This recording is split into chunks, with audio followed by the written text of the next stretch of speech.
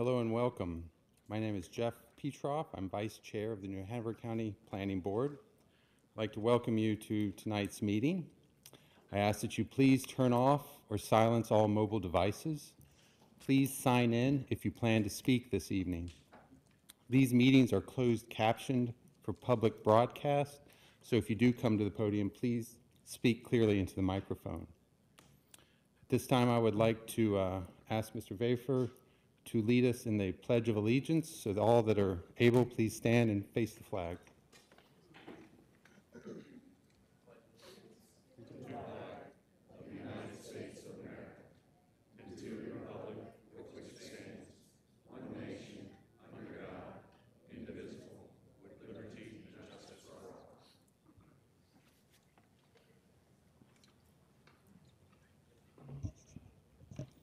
All right, thank you very much. So the items from tonight's meeting will go forward to the County Commissioners meeting scheduled for Tuesday, September 5th, 2023. This meeting will begin at approximately 4 PM and will be held in- at this facility in the New Hanover County Historic Courthouse. The Planning Board representative for the next two Planning Board meetings will be Pete Avery for August 7th. You you good? And Mr. Cameron Moore for September 5th. All right, great. So the format for tonight's public hearings is each side has a total of 20 minutes. 15 minutes for presentations, and then five minutes for rebuttal. As a reminder, this board is only an advisory board. The Court of Commission, the Board of Commissioners make the final decision on any of the requests being considered tonight, but public comment tonight can impact our recommendation on what may be ultimately presented to the commissioners. This time, I'd like to read the Code of Ethics. In accordance with the New Hanover County Board of Commissioners resolution adopting a code of conduct, a code of ethics as adopted on January 4th, 2016, it is the duty of all county boards and committees to respect and abide by the New Hanover County Code of Ethics in the performance of their duties. More specifically, all planning board members should obey all applicable laws, uphold the integrity and independence of the board, avoid impropriety, faithfully perform the duties of the office, and conduct the affairs of the board in an open and public manner. It is the further duty of every board member to avoid conflicts of interest as defined in North Carolina General Statute, Chapter 160D, Section 109. Does any member have a known conflict of interest with respect to any matters coming before the board this evening? If so, please identify the conflict and refrain from any undue participation in the particular matter involved. Thank you. Um, At this time, I'd like to move to the approval of the minutes, the June 1st, 2023 regular meeting minutes. Can I get a motion? I Make a motion to be approved as presented. We have a motion. Can I get a second? Second. Motion second. All in favor, say aye. Aye. Any opposed? Approval of the minutes moves forward. This time, I'd like to go to the election of officers, and I ask Madam Attorney, will you please take over? Thank you, Mr. Petroff. As you know, every um, August, there's a new election of officers. We have to elect a chair and a vice chair. It would be up to you to put up the nomination, second that nomination, and and vote on it. I open the floor to those nominations at this time. I'll make a nomination that we um, elect Jeff Petroff as our chair of the planning board. I'll second that nomination. All in favor? Aye. All opposed? Congratulations, Chair Petroff. Thank you, ma'am. For vice chair, I would like to make a motion that we um, elect Colin Tarrant as our vice chair of the planning board. Second. All in favor? Aye. All opposed? Congratulations, Vice Chair. All right. Thank you, Madam Attorney. This time, we'd like to move to our regular agenda items.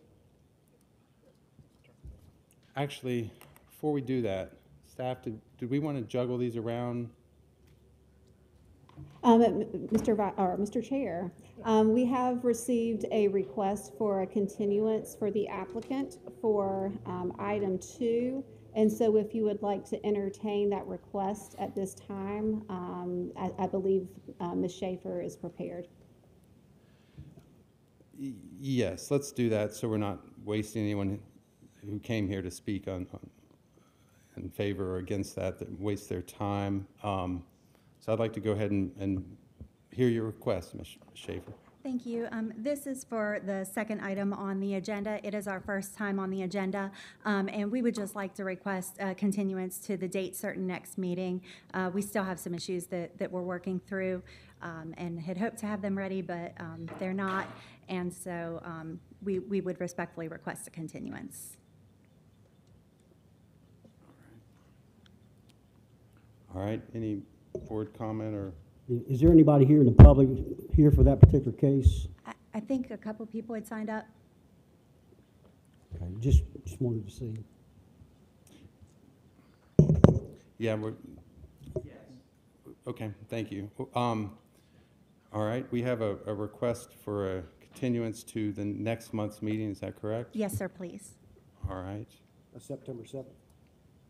that would be, yes, that was September 5th, oh, yes, yes. What is that? Is that correct? Staff, is that correct, the 7th? Seventh. Okay, I'll make a motion to continue this item till the September seventh planning board meeting. we have a motion, can I get a second? Second. Motion and second, all in favor say aye. Aye. Any opposed? All right, that motion, that request passes, this, that m- agenda, that will move to the next agenda. Thank you. All right, back to the regular agenda items. Um, This is for zoning map amendment application Z 23-14, request by Wes Reynolds with SB Cottage Investments LLC applicant to rezone four parcels totaling approximately 7.37 acres of land located at 7641, 7645, and 7647 Carolina Beach Road from R15 residential to CZD R5 residential for a maximum of 56 attached single-family dwelling units. This item was continued from the July 6th regular meeting. This is a public hearing. We will hear a presentation from staff, and then the applicant and any opponents will each be allowed 15 minutes for their presentation, in addition, additional five minutes for rebuttal. This time, I'd like to ask staff for their presentation. Thank you, Chair, members of the board. The applicant is requesting to rezone approximately 7.37 acres from the R15 residential district to a conditional R5 residential district for a maximum of 46 dwelling units. This item was continued at the July meeting to allow the applicant to make revisions to the proposed concept plan in response to feedback provided by the board and the public at the July meeting. The site is located at 6641 Carolina Beach Road and was originally zoned R15 in the 1970s. At the time, the purpose of the district was to ensure housing densities remained lower due to the need for private wells and septic systems. Since then, private water and sewer utility service has become available in the area. From the aerial photography, we can see the site is bordered by single-family residential development to the north, east, and south. The western side is bordered by a service road and Carolina Beach Road. Here's an aerial photo of the site with images of the property from different angles. Here are examples of development you might see in the R15 district. And here are examples of development you might see in the R5 district. The proposed concept plan includes 46 attached single-family dwelling units in the form of quadruplexes, triplexes, and duplexes. The revised concept plan reduces the number of proposed units by four compared to the previous plan presented in July. In addition to the improvements to the existing unimproved easement, a condition has been included guaranteeing the option for future connectivity to Seabreeze Road to the north. And an additional looped private road has been included to reduce the number of driveway cuts along the road compared to the site you saw in July. Several significant trees have been identified on the property. Condition has been provided to preserve the trees that do not impact essential site improvements. 12 stormwater infiltration basins are proposed throughout the site. This is an increase of eight additional infiltration basins than previously proposed.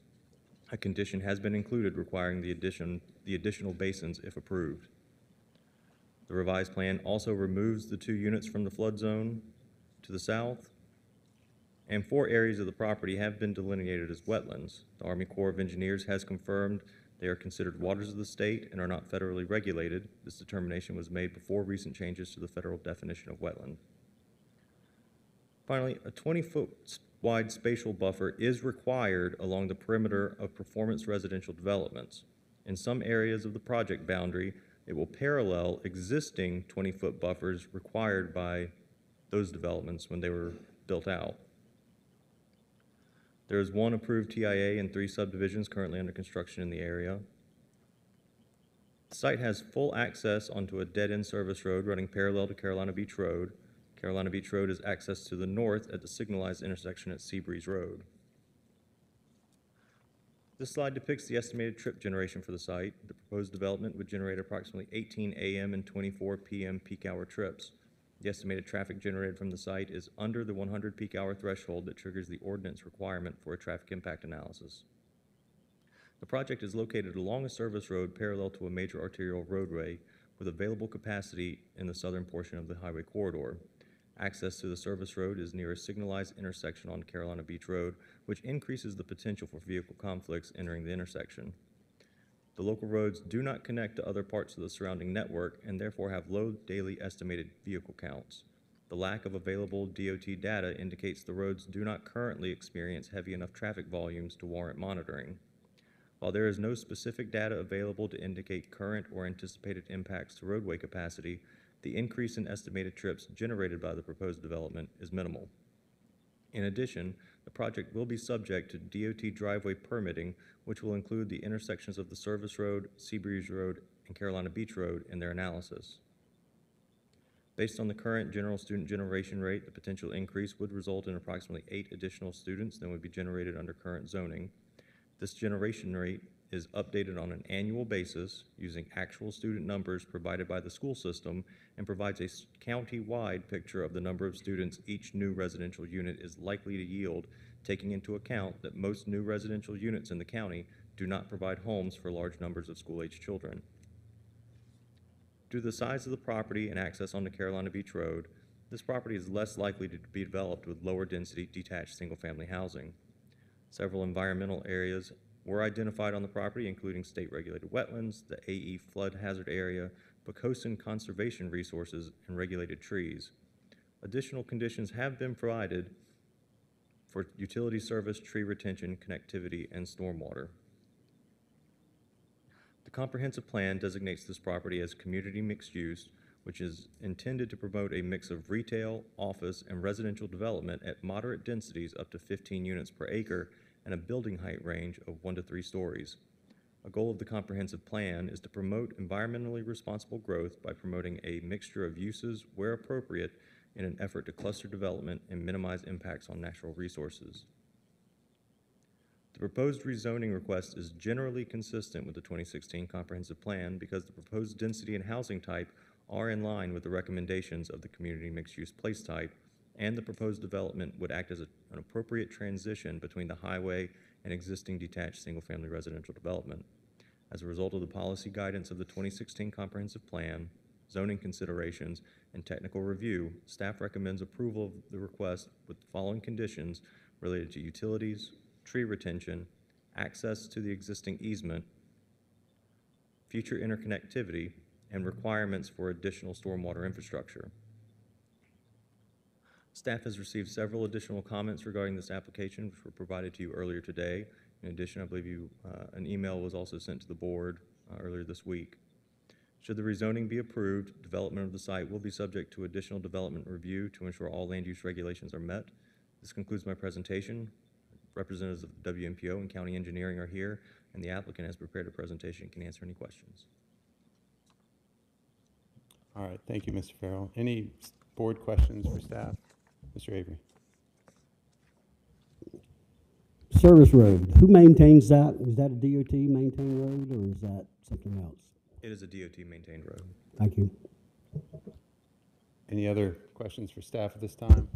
I have Mr. one Weeb- question, Mr. Chair. Yes. Um, Rob, in your presentation there, you showed a couple slides as far as uh, current developments, R15 versus R5. If you could go back to that and actually go back to the Cypress Village subdivision.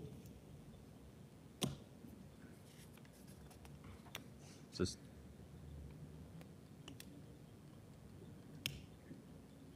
There we go. oh, did I pass it? Let's see. Oh, just development you might see in the general area. There we go. Well, and so my question is, example. under the R fifteen of Cypress Village, one slide back, um, what was the density of that development? Because obviously it's continued to stay R fifteen. I will have to, I can pull that information if you give me a moment.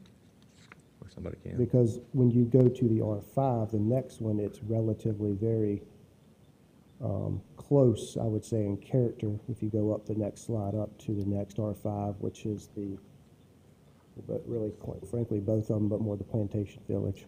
So that Cypress Village was two point five dwelling units per acre. Okay, all right. And it may just be the way that the picture's situated, but it looks like a higher density project. All right. Any other questions? Miss, for um, excuse me, I'm sorry, Yes. Mr. Moore, we did just double check. It appears that Cypress Village, um, received a special use permit that allowed additional, um, density than what was permitted, um, than the two point five units per acre under, um, R fifteen. So that wouldn't be a great represent, representative of the R15. Is that- Correct, we'll change that slide, thank you. Thank you. All right, any other questions for staff? All right, thank you, Ms. Farrell. Um, At this time, I'd, I'd like to ask, invite the applicant up, to make their presentation. I believe everyone um, signed up to speak in support is on your team, so you have 15 minutes. Thank you. Thank you. Mr. Chairman, Mr. Vice Chairman, members of the board, my name is Sam Frank. I represent the applicant. I expect that my uh, presentation this evening will take less than 15 minutes. If it does, I'd be grateful if I could have that additional time in rebuttal if needed. So, um, as Mr. Farrell effectively explained, this is a continuance of a matter that you previously looked at. Uh, We've made some changes to the plan. Um, The original plan contemplated 56 units. Uh, The plan that was before the Planning Commission, uh, Planning Board previously included 50. Uh, We've now reduced that number to 46. While the actual number of units, it's meaningful that um, 18% or so of them have been taken out of the project. The relocation of those units is significant uh, in that the units removed were specifically removed in response to concerns raised uh, about impact on the non-regulated wetland uh, and incorporation of units that were in the flood zone. Um, So in the northeast corner, um, a couple of units have been removed and the road orientation has been adjusted to reduce the impact on those non-regulated wetlands. Uh, And in the center of the southern side of the property, two units that were previously uh, touching the AE flood zone uh, have been removed from the design. Another benefit of the revised design is that there's one less dead end and better road circulation on the internal path uh, for the, for the drive aisles uh, and the roads within the development.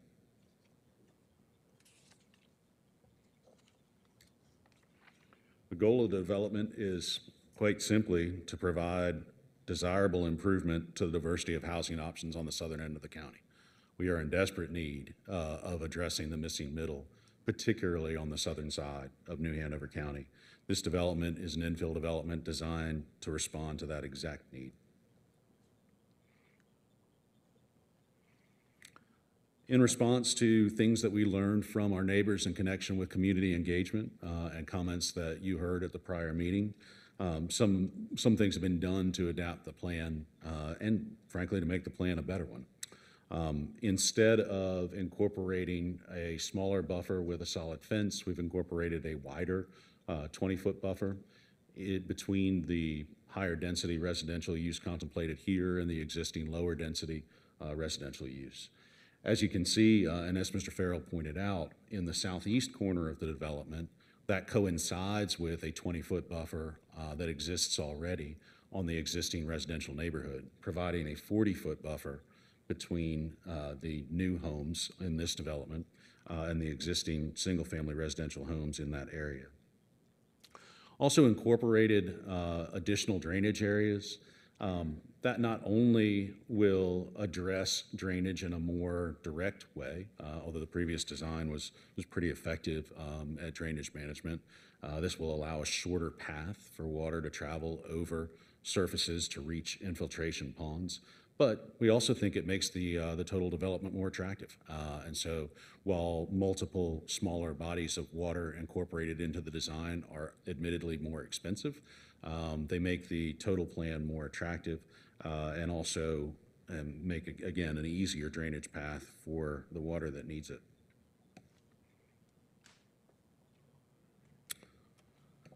Future land use map contemplates this area for community mixed use. One critical component of community mixed use in our ideal scenario for how this land would be developed in New Hanover County is that we would incorporate a diversity of housing options.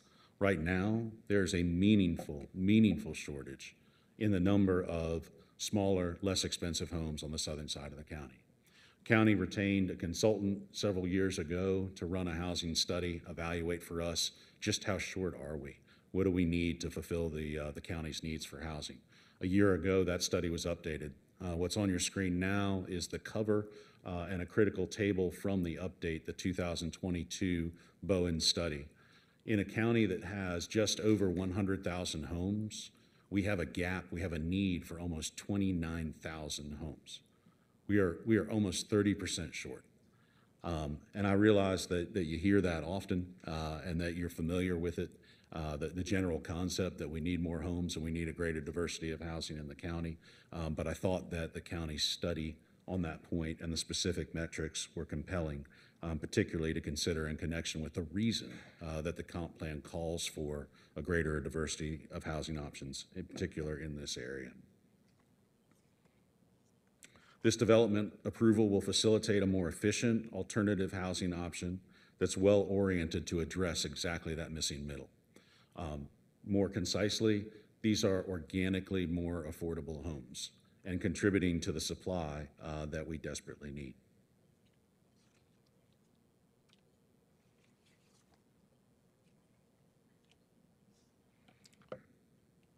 By providing for a, a greater diversity of housing options, addressing a need for a specific type of residential use, creating a desirable buffer between the relatively high intense highway use uh, of Carolina Beach Road and the existing uh, single-family use to the east of the development. Um, This, this site plan and this proposed design fit very well uh, into the comp plan.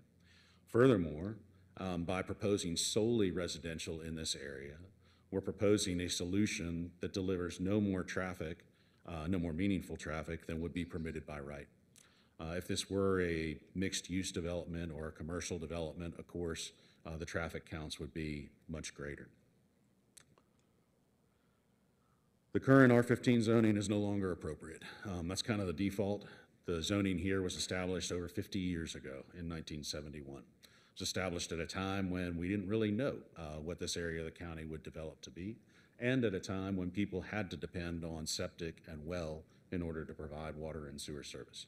Uh, There's no question that as time goes on, it is completely appropriate um, to revise R15 zoning um, as, uh, as new opportunities present themselves. This is just one of those opportunities. Consistent with staff's recommendation, we request that the subject property be re- rezoned to conditional R5 to provide for 46 missing middle homes. Appreciate your consideration of this application. In addition to uh, me being here to answer your questions, a representative of the landowner, Wes Reynolds, uh, who's also the applicant, is here with me. Our engineer, Jimmy Fentress, is also with us this evening.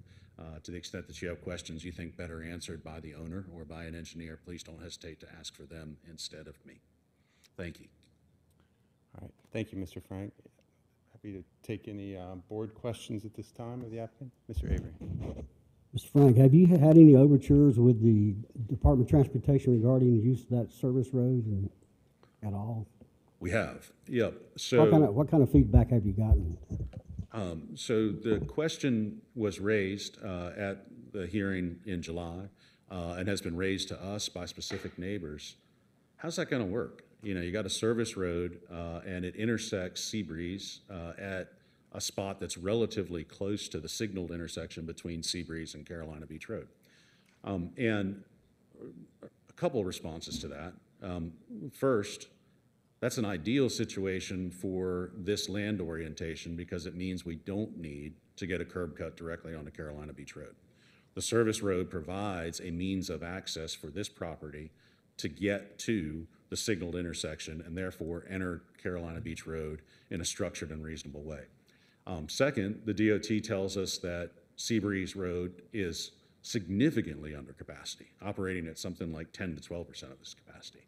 But what about the specific issue of the um, proximity of the intersection of uh, the service road and Seabreeze Road to the signalized intersection between Carolina Beach Road and Seabreeze Road?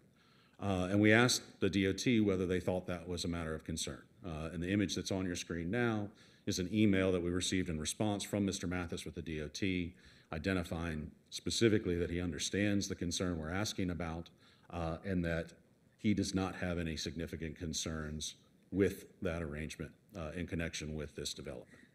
He notes that if we were to do something else, uh, if we were to develop the property in a mixed-use fashion, more similar to um, some of the other uses that are contemplated in the future land use plan, that he'd want to reconsider it. But with regard to this specific proposal, uh, he doesn't have any significant concern. I don't think it's meaningful, but note that his response was at a time when there were 50 homes uh, as opposed to 46 homes in the, in the development. All right. Actually, I- can I, can I follow up on that question? Yes, sir. Um, it- It seems, a- a- he- he's really referencing the number, and, and I completely agree that those roads can handle far more traffic than that, but it's the geometry when, uh, I, I feel like was, was a bit of the concern. And not necessarily that it needs to be solved, you don't need to have the answer, but I almost wanted to ask the, someone from DOT, maybe the MPO, if they could, could weigh in on, because I, I- I think you would understand that, that that tie-in is very close to Carolina Beach Road. So the geometry, I think, poses some, some design challenges. And I'd like to hear from the MPO that that is a solvable issue. Not that you, you have to present that here tonight, but that that issue could be solved. Maybe it's, when, when you go to get your driveway permit, they say, hey, you have to make this a, maybe it's a right only, or some, some kind of situation. But I think I'd feel a little better if I could hear from, from the MPO and um, really explain that, unless you've already done that and can answer that question. I, I just want to, I'm eager to hear that too from- from the MPO, but I did want to point out that if you look at the second line of this email, as it relates to the proximity of the service road intersection with Seabreeze and the signalized intersection, that's exactly, the question you're asking is exactly the question we were asking of the DOT. Um, And as a practical matter, people on the service road are going to have to wait to turn left. They're going to have to wait until traffic clears on Seabreeze in order to be able to do so. We get that from a, from a practical development standpoint. But that said, let me let the gentleman from the MPO uh, respond to you.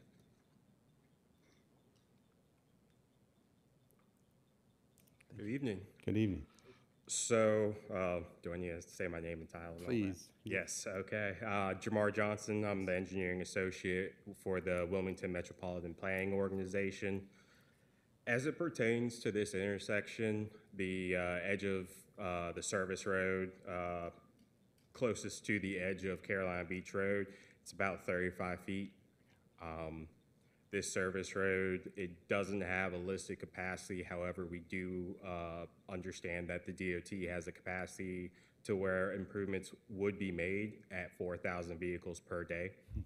Uh, So for this entrance for the service road connection to Seabreeze, there are potential uh, uh, mitigations that could be made. Uh, It could potentially be that the DOT would uh, require it to become a right-in, right-out only type of uh, deal right there. Um, Based on uh, my uh, site visits, it does have a short median along uh, Seabreeze Road right there, but it still would allow for people to turn left. Uh, However, whether or not the DOT would require improvements to be made based on the driveway permit process, that I am unsure of at this time. Okay, all right. Well, I think you've, again, I'm putting you in kind of an- a tough position, I understand that, but um, that it is, it will be visited with the driveway permit, and it, it, there could be some requirements. um, Yes, there and could it- be requirements. And it could be, it- it's, it's a solvable, it could be a solvable issue. I Okay. believe so, yes, sir. Thank you. Any other questions for uh, Mr. Johnson? Yeah, Mr. Chair, okay. Mr. Chair, I have, Yes, Mr. I Hitt. have a question for Mr. Frank. Yes, sir. Um, two, two questions now, I may have more. Um, the, um, you mentioned that as proposed, the, uh, new forty-six units would not increase traffic, uh, AM, PM, but our information shows that it does. Is that correct? It's nominal, but you're right. It Yeah, it- so yeah. there is a change, there is an increase. I put the chart on the screen there. Yeah, you've got one additional car every 30 minutes. Making sure, because you said there was no, but there is. It I might apologize. be You're right. I- I Somewhat misspoke. I meant to insignificant say to no you, but material. it, there is an increase. Yeah. Now, it's worth noting that the comparison there is to residential use in R15. There are other uses in R15 that would be substantially greater that are permitted by right. Mm-hmm. You could have an elementary or a secondary school. You could have a church or a place of religious assembly in an R15 by right, and presumably you'd have significantly more traffic than we've proposed. The chart that's on your table, uh, on your screen, and the one that, that staff's prepared for you assumes single-family residential development, which is a fair point of comparison. Uh, The next question was, there's a condition proposed related to the northern, uh, I get the language right. Um, The northern terminus of the access easement shall be designated for public use to allow potential future connection to and through adjoining parcels to Seabreeze Road. First of all, can you explain what that public, designation for public use would mean? And then second, who, who would eventually provide that access? Um, so for our part, what that means is we will allow this private road to be dedicated for public use to the extent that a public road is connected from the end of our property to Seabreeze Road. Um, the, that was something that was proposed to us by staff and we agreed to. Uh, as far as who would ultimately establish that road in the future, that is well beyond my pay grade. I don't know uh, who would create such a road in the future, uh, whether that would be a future private developer uh, or if the county or the DOT would be inclined to take it and establish the road. For our part, what we can control is that we can agree to that interconnectivity if the road is brought to our, uh, to our property boundary, and that's what we've agreed to do in that condition. Thank you. Yes, sir. Mr. Hine? Thank you, Mr. Chair. Mr. Frank, appreciate it. Yes, sir. Very appreciative that, uh, I believe eight additional drainage basins have been added to the new plan. Yes, sir. Did I hear that correctly? Are these ponds or will they be dry basins? I'm going to ask our engineer to answer that question to make sure that I don't misstep. Thank you. Good evening, Jimmy Fentress, Stroud Engineering. Uh, A portion of the ponds are proposed to be basins, and a portion of them will be uh, detention ponds or wet ponds. Um, The southeast, excuse me, southwest portion of the site is very suitable for infiltration, most suitable for infiltration, and that's where we propose to uh, release the water from the site. So the other ponds will be holding ponds to effectively get the water to the infiltration basins to recharge the groundwater.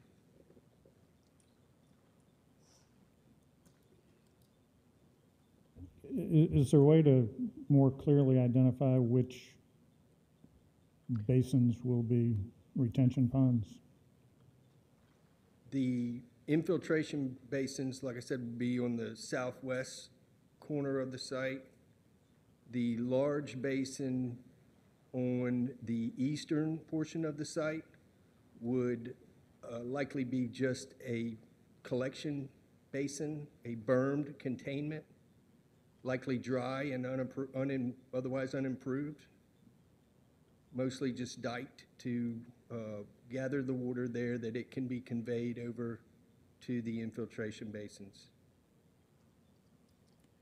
Um, I may be getting a little bit ahead here, uh, but I understand there's some specimen, well, I know there's some specimen oak trees on the property, uh, having walked it. I'm not sure exactly what's being presented to save these specimen trees, but is there a conflict in constructing any of these basins, drainage basins with saving some of these, uh, specimen trees in the root systems?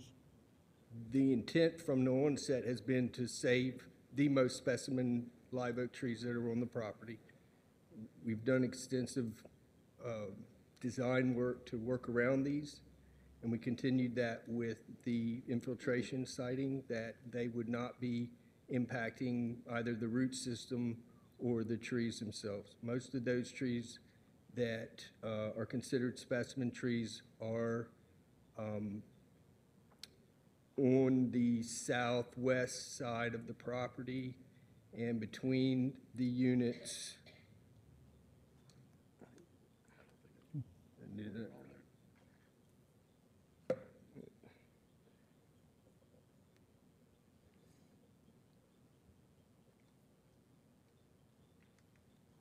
Would be between the units, um, the first eight units that are off of the service road. Most of those specimen trees are behind those eight units. And they're indicated on the, on the plan. Thank you, Mr. Fentress. Mr. Frank? Actually, Mr. Fentress, I've got a couple of just follow-up questions. As you can imagine, we get a lot of comments from, from residents, um, a lot of, lot of concerns on stormwater, of course, and that's, that's what you're, what we're talking about. Um, Could you elaborate a little bit more on, are, are are you, you've had geotechnical testing out there? We have. Um, Seasonal high water table, all the, the normal? We um, have, So these are going to be interconnected, is that correct? All of them will be interconnected? they will be, Okay. is the intent, I mean, at this point. I Understand, and you're not through design, we, we understand it's, Right. it's still at a higher level. But then you would also, you would also have to design for, for bypass and, and large events as well that would take this to the southwest? Would that be the ultimate discharge for, is that correct? By topography, a- and the, the land is mostly a bowl. Th- Okay. This project sits mostly in a depression. Uh, Probably would help, yeah. Next one. So that's the existing, Okay. that- there's the result. Okay, show the existing, I'm sorry. No problem. Yeah, This is a zoomed-up version of it, obviously, I guess. So um, a good portion of the site uh, exits towards the northeast. And then another, little bit more actually appears to exit due south. So as these, we'll have to design for certain year storms for the county's detention and for the state's treatment. And uh, once those uh, storms are breached, then the runoff will exit in the same direction that it does currently. And we would make effort to keep those uh, bypasses proportionally the same relative to the area that is presently drained in those directions. And, and for the, the public that are here, what, and not exact numbers, but that, is that the twenty-five year storm event? It is And for the county. For this area, what, what is that in, in inches approximately? It's about 10 inches. 10 inches, so significant. Okay, okay. Thank you for answering that. I just, it was hard to tell the interconnectivity versus how, how all that was working, but you've explained that. Thank you very much. Um, Any other questions for the board, board at this time for Mr. Frank? Um, Actually, uh, I did have a question for Mr. Fentress. Um, Just, just want to make sure that, in, in reading through the notes here, uh, it mentions 11 stormwater inf- infiltration areas are total, including seven additional ones. I take it that, that the first proposal met the minimum standards for stormwater retention, and then seven more have been added to exceed it, or these were not due to changing regulations. Is, what, was the idea to add additional ones to exceed the minimum? We only in the last week received our study to do with the infiltration capabilities um, of the soils, on-site soils. So uh, we wanted to identify all areas possible that we could use for uh, either infiltration or collection to convey to the infiltration. Um, That's still the intent, but it is real evident from the soil study that the most suitable soils for infiltration are on the southwest, southwest portion of the site. Okay, so the idea is both locational and additional on-site stormwater retention. To address the concerns we heard here for drainage, we wanted to provide as much volume containment eh, that we could on site. Um, So that, that, that was the intent. Yes, okay, thank you. All right. Yes. Yes, Cam, Cam. Mr. Chairman, I think to your point earlier, state looks at it from a quality issue and the county is looking at it from a quantity issue. And so I think by utilizing that infiltration side, you were definitely looking at it more from a quantity. Is that a correct statement? From an engineering standpoint of how you designed this project? The infiltration is to address the treatment, the quality, and the other containment areas would be to address The quantity. the quantity. The infiltration will serve to uh, reduce those quantities in the containment areas, in as much as we don't have a discharge. So We've got to deal with the water on site. All right. Thank you very much. Any other board questions at this time for the applicant? All right. Thank you very much. Um, Thank you. At this time, we would like to open, open the floor up to the opposition. Um, We have five people signed up, so you'll have a total of 15 minutes. There is a rebuttal period after this of an additional five minutes, but um, we'll just, I'll go through an order of who signed up. Um, If you could tell us your name and address when you come up. Um, Ms. Moore has signed up first. Yes, thank you. Um, Good evening. My name is Audra Moore, and I live at 804 Hatteras Court in Seabreeze Community, and am a member of the Seabreeze Committee, which is made up of many residents who are passionate about the preservation and protection of our community. Seabreeze is an area rich with history that is not well known to most, but the people that make up this community are stewards of this history and feel a duty to preserve the character of this area. We have gathered in opposition to the proposed townhome project for several reasons, and we thank you for allowing us the opportunity to share these concerns with the board. At the previous meeting, statements were made to downplay the wetlands on the property requesting rezoning. I'm hoping to bring to light some clarification on this topic. The only people that know what these wetlands are capable of are the neighbors that live in Seabreeze and have experience with the impact of storms and average rainfall numbers. The first picture is of the southeast corner of the proposed townhome lots showing standing water in the wetlands area. This is directly where the last units are um, proposed. These images are taken from walking the back of the lot, the very far back of the lot where the townhomes are. Um, the picture on the left shows sunken sections of land with fluted trees that I've circled there in the red, which is indicative to active wetlands, but in a dry state due to the abnormally low levels of rainfall over the past year and a half. The photo on the right shows this same area during normal rainfall. These wetlands wrap around and connect to wetlands on our property and other adjacent properties as well. Here is the effect average rainfall has on these wetlands. This photo was taken in the summer of 2021 when rainfall average was 61 inches. For perspective, rainfall averages rarely go below 60 inches in Wilmington over the past 10 years, with the highest year being over 100 inches in 2018. Last year, rainfall total was only 41 inches. This image below shows that same wetland and how they hold water well into the winter months. This picture was taken in February of 2022. The back section of those townhomes, the four units, wrap directly around and feed into, it's the same section of wetland that wraps around our backyard. Here, I'd like to point out the FEMA map imagery for our area and the proposed project. So much of our area borders the AE flood zone, and some of the adjacent properties are in the AE flood zone. The property in question actually shows Zone D on the FEMA map, which is flooding of undetermined levels. This type of land is not conducive to high density, and we as a neighborhood are very worried about the impact our homes will take on from displaced water during storms and average rainfall numbers.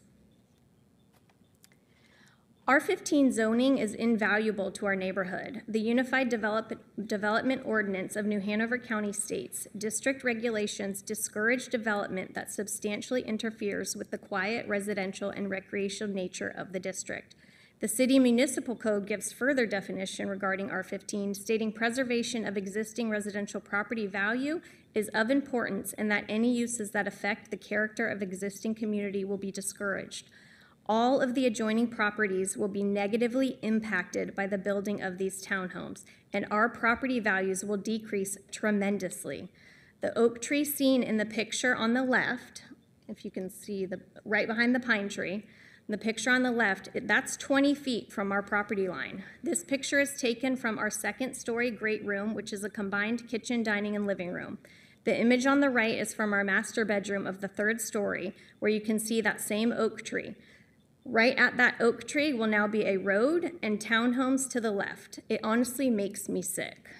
We always imagined this land would be built on, but in keeping with R15 zoning and that we would see properties through trees like we do on the left side of our home. If you can see the trees, you see through in the distance. They're, they're there, but you don't feel like you're on top of each other.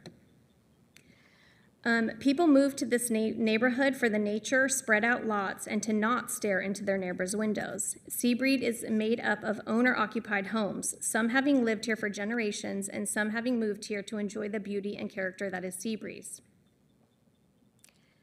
These are examples of the types of home found in our area and the homes that will be directly impacted by the construction of these high density units. All of these homes right now, the, they're all the ones that back up to the very, I guess it's the southern border of all the townhomes. So it's just gonna be townhome, townhome, townhome, right behind everybody's lots. This is how close the actual townhome structures will be built right up to existing residential homes. The canopy will be gone in the 20-foot buffer as the tree canopies extend well past the 20 feet, and our neighbors will sadly be staring into the back of townhomes when they moved here to build their dream home among an established neighborhood surrounded by nature. This is that back south, um, southeast corner. During our committee research, it was found that this rezoning request would actually be a case of spot zoning, which is illegal in the state of North Carolina, and several cases have been brought to the state and won in favor to not rezone small parcels of land within established communities, including cases here in Wilmington. The courts define spot zoning as such, in quotes, a zoning ordinance or amendment which singles out tracts owned by a single person and surrounded by a larger area uniformly zoned so as to impose upon the smaller tract greater restrictions than those imposed upon the larger area, or as to relieve the small tract from restrictions to the rest of the area is subjected is called spot zoning. Please keep the integrity of our neighborhood in mind, both its character and its home values when you make your decision. This project does not enhance or add any benefit to the Seabreeze community. All right, Thank you, Ms. Moore. Next is Ms. Tiley.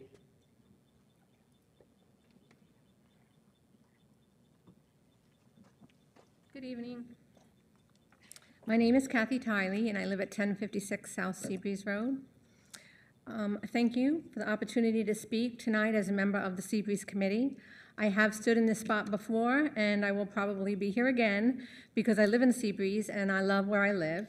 My neighbors and I will continue to come out to oppose development that may not seek to, but inherently will, not preserve, but change the character of our community. It is our responsibility to do so.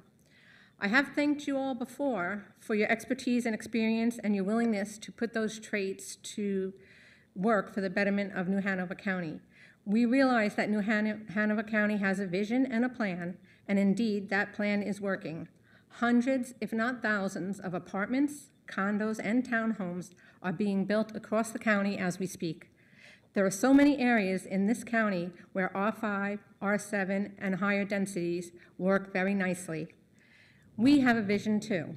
Our vision is to maintain our little slice of heaven. Our vision is to maintain the low-density, quiet residential and recreational nature of Seabreeze. The reason we purchased land and built our homes here. The rea- reason others want to move here. The last community like it before hitting the high-density beach party at Carolina Beach. The way to achieve that is through zoning. Please remember that place types on the future land use map and in the comprehensive plan are guidelines and they do not trump zoning. Recently, the board has alluded to the idea that we need to accept that R15 is going away, things are changing. Yet, as we speak, there are hundreds and maybe thousands of single-family homes being built throughout the county on property that remains zoned R15. Not all development requires a rezoning. There have been no significant changes to the neighborhood that make the current zoning inappropriate. The land involved is perfectly suitable for the uses permitted under the current zoning. In fact, it is better suited to the R15 uses, given the environmental impacts due to the wetlands on the property, to the local schools at almost full capacity, and the potential traffic conflicts. Last month, I expressed concern over the quality of the access into and out of the properties being reviewed.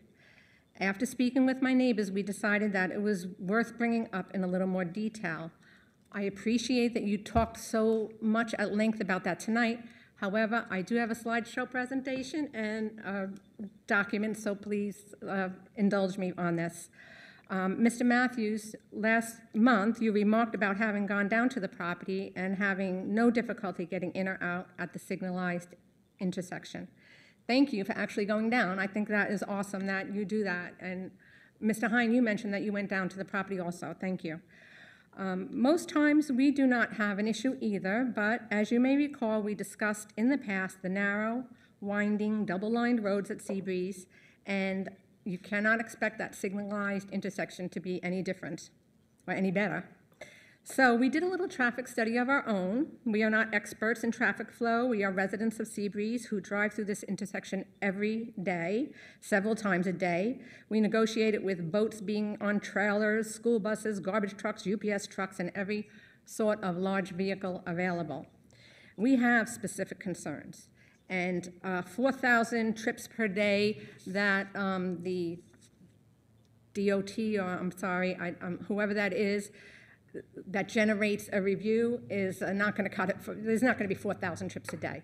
But I want you to see how, how this, how close this 35 feet uh, from the, this picture on the right is the service road, along Carolina Beach Road. You can see the service road headed towards the intersection.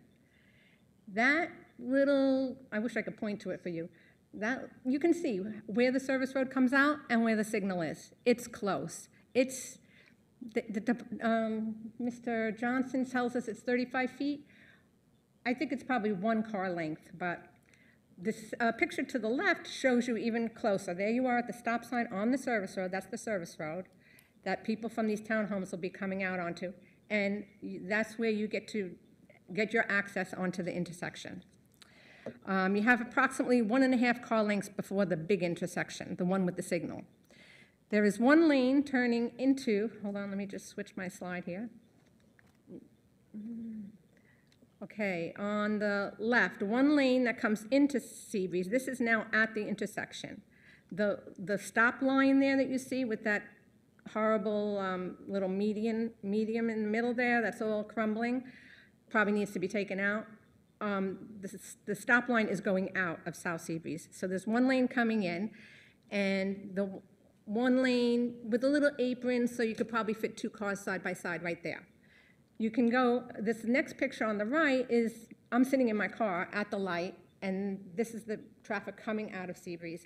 I'm just wanting to show you that you can put two cars there back, you know, one, one in front of the other, before you're gonna block that service road access. Which, you know, fine, they're gonna, people are gonna wait, but I actually have a picture that, I'm sorry I could not get it in the slideshow. I know you're really gonna miss seeing this one, but my neighbor took it of, um, he pulled his truck up to the stop line there, he's at the light, and another, a pickup truck pulls out of the service road behind him, but the tail end of the pickup truck is in the, you know, can't cross the double yellow line, it's in the incoming lane. So if somebody, if, if a vehicle happened to be coming around at that time into Seabreeze Road, he would have had to stop short. Um, Another issue right now, oops, sorry, is um, picture all the way, well, both, both pictures on each side, you could see the blue roof, that's Pelican Snowball now. Uh, Their parking lot is, you, you back out of their parking lot onto South Seabreeze Road. That's how you get out of their parking lot. You back out of it onto South Seabreeze Road while traffic is moving on South Seabreeze Road. It's, it's pretty insane. Um,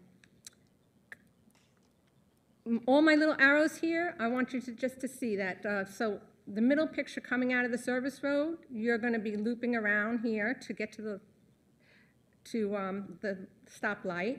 Then you have um, Carolina Beach Road making either a left onto Seabreeze or a right onto Seabreeze, or River Road coming straight across onto Seabreeze. All of those three other roads, River Road and the two Carolina Beach accesses, have turn signals.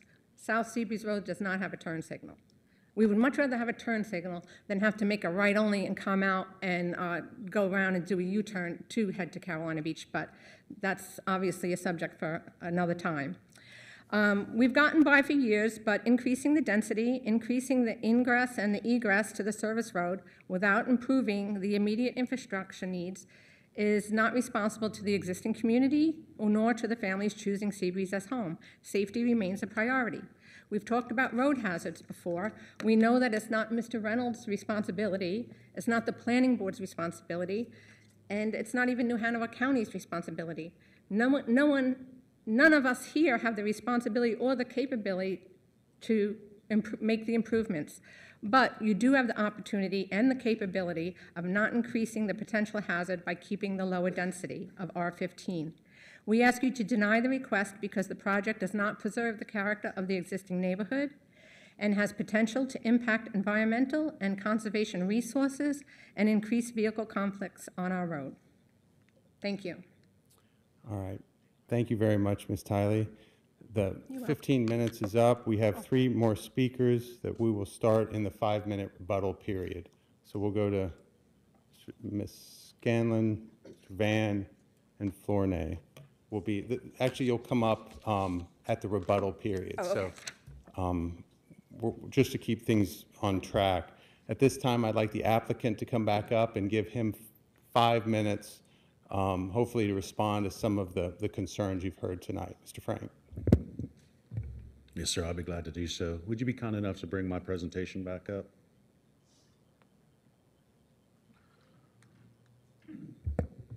So, um, several things I'd like to say in response and, and some additional images I'd like to share. Um, Ms. Moore communicated clearly that she's concerned about uh, how floodwater will work and also uh, communicated that she'd prefer to, to look out our window at undeveloped land on, on our client's property rather than homes. Um, The, uh, the second thing I, I really can't respond to, uh, other than to say, this is a private property owner like any other and ought to have the right to, to build on their property just as any other does. The images uh, that Ms. Moore showed you of uh, standing water are primarily, if not entirely, in the, um, in the buffer that's been proposed, the 20-foot buffer that's been proposed. There's a meaningful conversation about unregulated wetland, and so I wanted to demonstrate to you what that actually looks like. Uh, This is a, a site layout that shows the picture, uh, pictures are taken from the vantage points shown by the arrows. So I'm going to show you three photographs, but the, the small thumbnails here show you the, uh, where we stood and, and which direction the, the camera was pointed. These photographs were taken on August 22nd, 2022, shortly following a three-inch rainstorm, which was followed by a three-quarter inch rainstorm. Each of the three photographs is pointing towards a section of unregulated wetland. Um, As you can see, unregulated wetland does not look like marsh grass. Uh, It doesn't look like standing water. Uh, These areas are, are relatively dry here in the immediate aftermath of a, uh, of a significant rain event.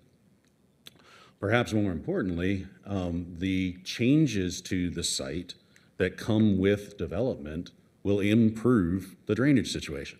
It'll improve the opportunity to take water that lands on this site and have it leave the, less of it to leave this site.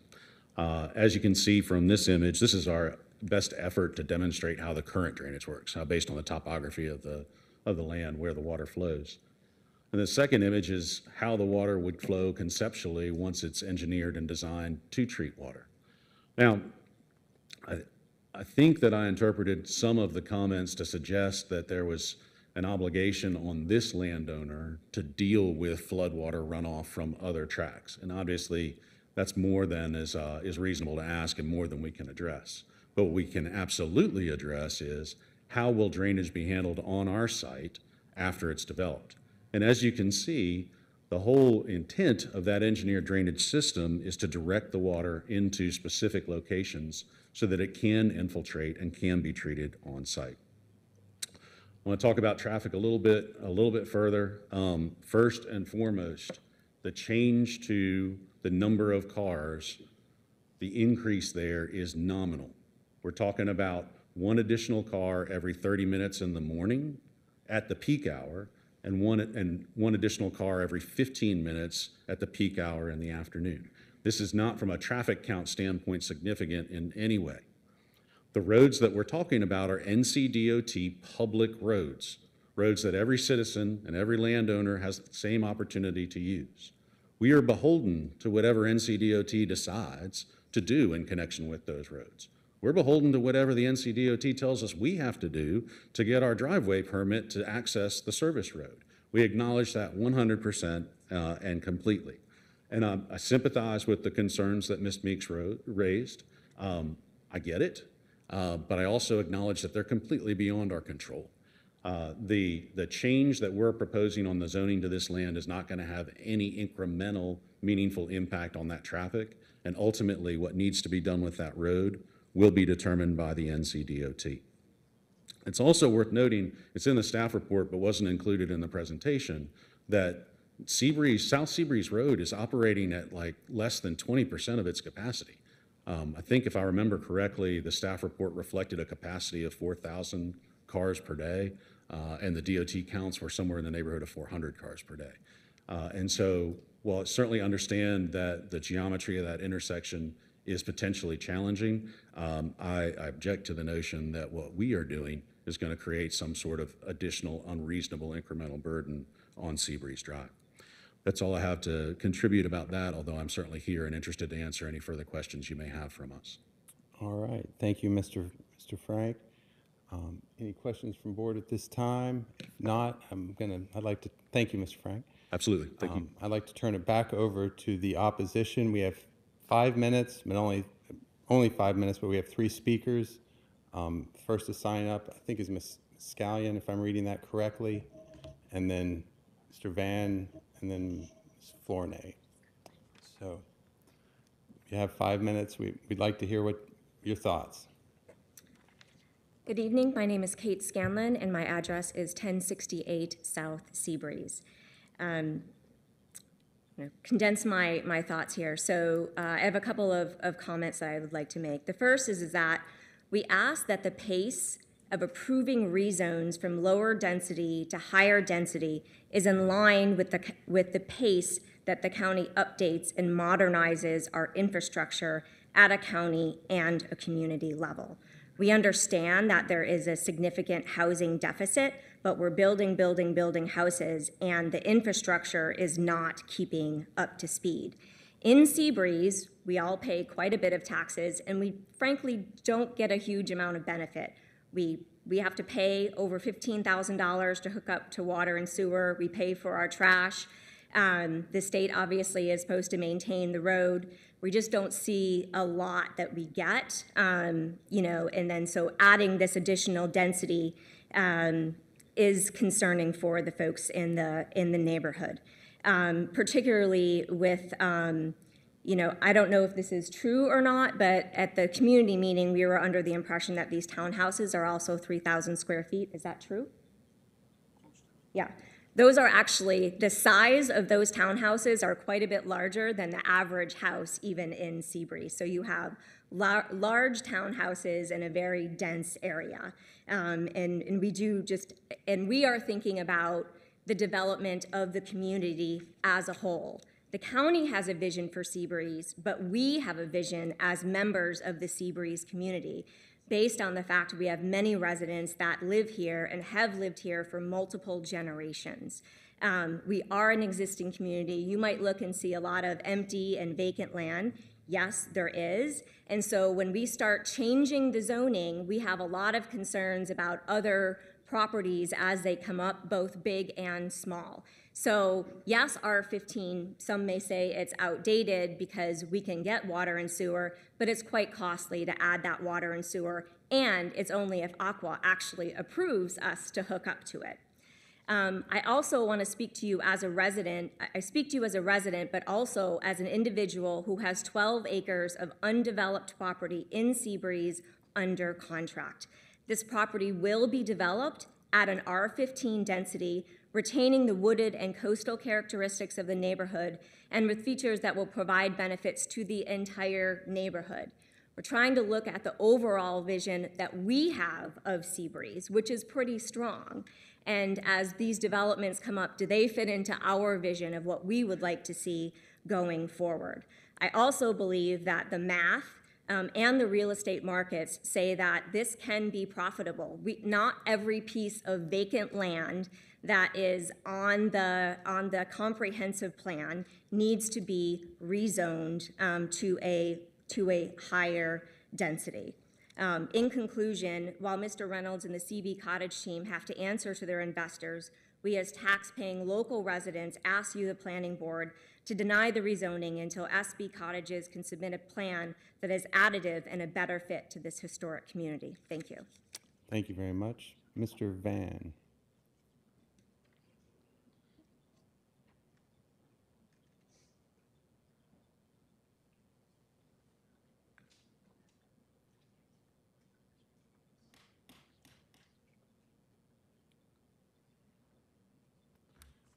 Mr. Van, your time is, is ticking. If you'd rather have the, the next speaker come up? Uh, responses Okay. that you did not get. They were given to me or Mr. Farrell. Okay, if you could give us your name and address. Yes, my sir. name is Harold J. Van Essendel. I live at 810 Roscoe Freeman. I own property at 814 Roscoe Freeman. And Thank you for the opportunity. There's a lot of new information tonight, and I have not had a chance to assess all of that, so I'll be as brief as I can. I read your comprehensive plan, and it is a plan. I never found the word mandate anywhere in it. Uh, The board recently has denied four different applications, two in Seabreeze, not entirely because of density, but was mentioned in every single one of those four in the last 18 months. Um, During the meeting, the last meeting, the applicant brought up the fact that there were financial considerations. And obviously, the de- the developer has to make a profit. Excuse my voice, I've got a problem. We are aware of the costs involved in bringing sewer and water, and the developer at that time said this would be a benefit to the community. I don't see how that could be. It's only going to benefit his development if you approve it. If the total number of units is decreased too low, the applicant will probably have some sort of financial difficulty. However, I believe it can easily go to R15 and make money based on the cost of lots. The decision, however, should not be based financially. That is not in the purview of this board. That is his problem, not yours. A board member stated sometime at the last meeting, people want to come here, and I understand that, I did too. But that does not mean you have to acquiesce to every single developer who wants to bring in five units here, 50 units there, 10,000 here, or whatever the number. Carolina Beach right now has many units being built. Just north, you people have approved at 6,800 and 6,830, many more units. Seabreeze is a single family residential area. every time you, and even though this is a small area, every time more traffic. And it's horrendous now, and there is really no solution. They've worked at Carolina Beach um, College in Oleander for years trying to figure it out, and it's not going to happen. Uh, Some years ago, 90 acres was purchased by the county for the landfill, and that was supposed to last until 2050. Now revised till 2035, and under consideration, that's probably not going to work again. Traffic is horrendous, schools are loading up, and this is just getting to be, even though this is a small area, every one of those things, excuse me, contribute to these problems. Businesses are doing well in this town. I own a business. Revenue for the county is up on the sales tax, so are my property taxes. All of the development, everything that's going on has never brought my taxes down. Promises are not made that way. It is difficult, if not impossible, to put a value on green space, much of which will be lost to 46 units and the hard surfaces that will accompany them. But if you look through the Seabreeze community, you will find almost every, I'm sorry, every single-family residence has small, medium, and large trees, and that is conducive to a certain sense of serenity and quietness. Small animals, songbirds, hawks, Mississippi kites are now part of the makeup of this neighborhood, along with deer and coyote, and they roam freely. There is an aesthetic appeal of calmness and nature, which is hard to quantify, but it does exist and should be essential, and I might add necessary for you to consider. Quite a, quite a few changes were made that I'm not aware of. Seabreeze is, was, and should be R15 to deride the fact that the county in 1971 put R15 in and has had so sort of obsolete. Well, it's not obsolete. Thousands of those homes have been built in the last 10 or 15 years in this county, happily enjoyed by many people. Thank you. All right, thank you very much. Um, The opposition is out of time. Actually, I- if the board doesn't mind, I'd like to give um, Ms. Flournoy t- two minutes. I hate to, everyone came out here if, is it, is- I'm sorry, I might be pronouncing that wrong. Mr. Flournoy, sorry. My name's Laird. I live at 909 Salt Spray. Oh, Laird, okay. Can you hear me? Yes. Okay. The only thing I got to say is looking at overall the legal court cases for rezoning in North Carolina, there's a lot of precedent that says if it if it's a detriment to the neighbors, exi- the neighboring communities, if it's a detriment, then it's not legal to rezone it high density. That's all I got to say. All right, Thank you very much. Careful. All right, at this time, um, I- actually, uh, before I close the public hearing, are there questions for the applicant or any opposition from, from the board? No? All right, I'm going to close the public hearing and open it up for, for board discussion. Mr. Avery? This question for um, Rebecca. Isn't a good chunk of the end of the Seabreeze Road Zone B2 business? Yes, there, there is B2 at the end of Do Seabreeze you remember Road. how much acreage that is? I don't know off the top of my head. We can factor that in and get back to you. But, but, but it is Zone B2, and there are certain uses permitted by right that generate lots of traffic under current zoning, correct? There are current uses that could be tra- um, larger traffic generators, yes. Okay, thank you. B2. Uh, Mr. Chair? Yes, I have, I have a question. I think it would be best for Mr. Johnson. Okay. Is he still here? With the Wilmington EPA? He is.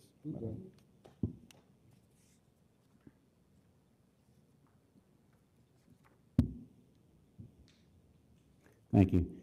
Um, twice I heard, once from you, the mention of a right turn only. Yes, sir. Was that a reference to the access to Seabree, to Seabreeze from the service road would be right turn only? So they That would is not a- be able to make a left to the light? Correct. That could be a potentiality for this uh, service road connection to Seabreeze. However, as I'm not the DOT, I do not have any say in their driveway permit uh, process. And that is all I can say about that truly. All right, that that- it- It's That, that potential. may have answered my second question. Uh, Is it possible for, for um, the county to put a condition on this application that they provide a right turn only at that intersection? I cannot answer that. Mr. Hip, we, c- we can condition, but I would, I would be leery to condition design Traffic. requirements, yes. Understood, I just asked. Yes, sir. Thank you. Right, right. Um, All right. What, what, more board discussion? Mr. Matthews? Um, Oh, Mr. Hip. I- keep I'll going. lead off and, and just say that I- I, I continue to have difficulty with increasing, with, with recommending a change that would do anything to increase traffic along the service road as it relates to the intersection at Seabreeze. Um, if a connection were made at, at this, um, northern terminus, uh, if that was made at this point, that would alleviate that concern. Um, The applicant mentioned that there are commercial uses by right that would be allowed here. Well, those in fact are, um, besides golf course, I think golf course is in there, but those are um, a a library, a park, a school, uh, and an EMS station. Well, as a member of this board, I would probably recommend an increase to traffic for those public uses. But anything that increases traffic, uh, I have difficulty with. Um, the other thing I would say is that, you know, uh, back to the point about uh, connectivity, connect, we talk about connectivity uh, a lot. And this, while it provides connectivity within the development, really doesn't provide any connectivity to the adjacent roads. Uh, we talk about buffering or transitioning from high traffic areas to lower density areas. Um, well, that's why we have R5, R7, R10, R15. This goes straight from R5, this cuts a swath of R5 all the way back up against R15. There is no transition. So those are, those are the concerns that I have. Uh, the, the, I assume that the design, the, the ordinances and the designs, the engineering requirements will address the, the stormwater issues, and I'm confident that they will.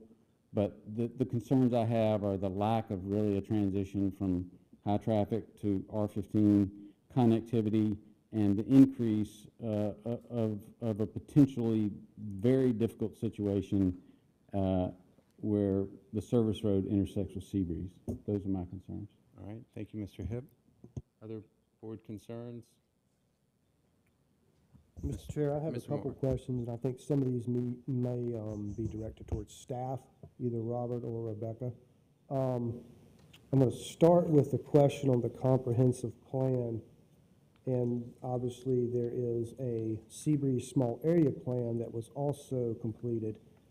As the comprehensive plan was put together, there was a lot of stakeholder meetings, community meetings, and involvement in that.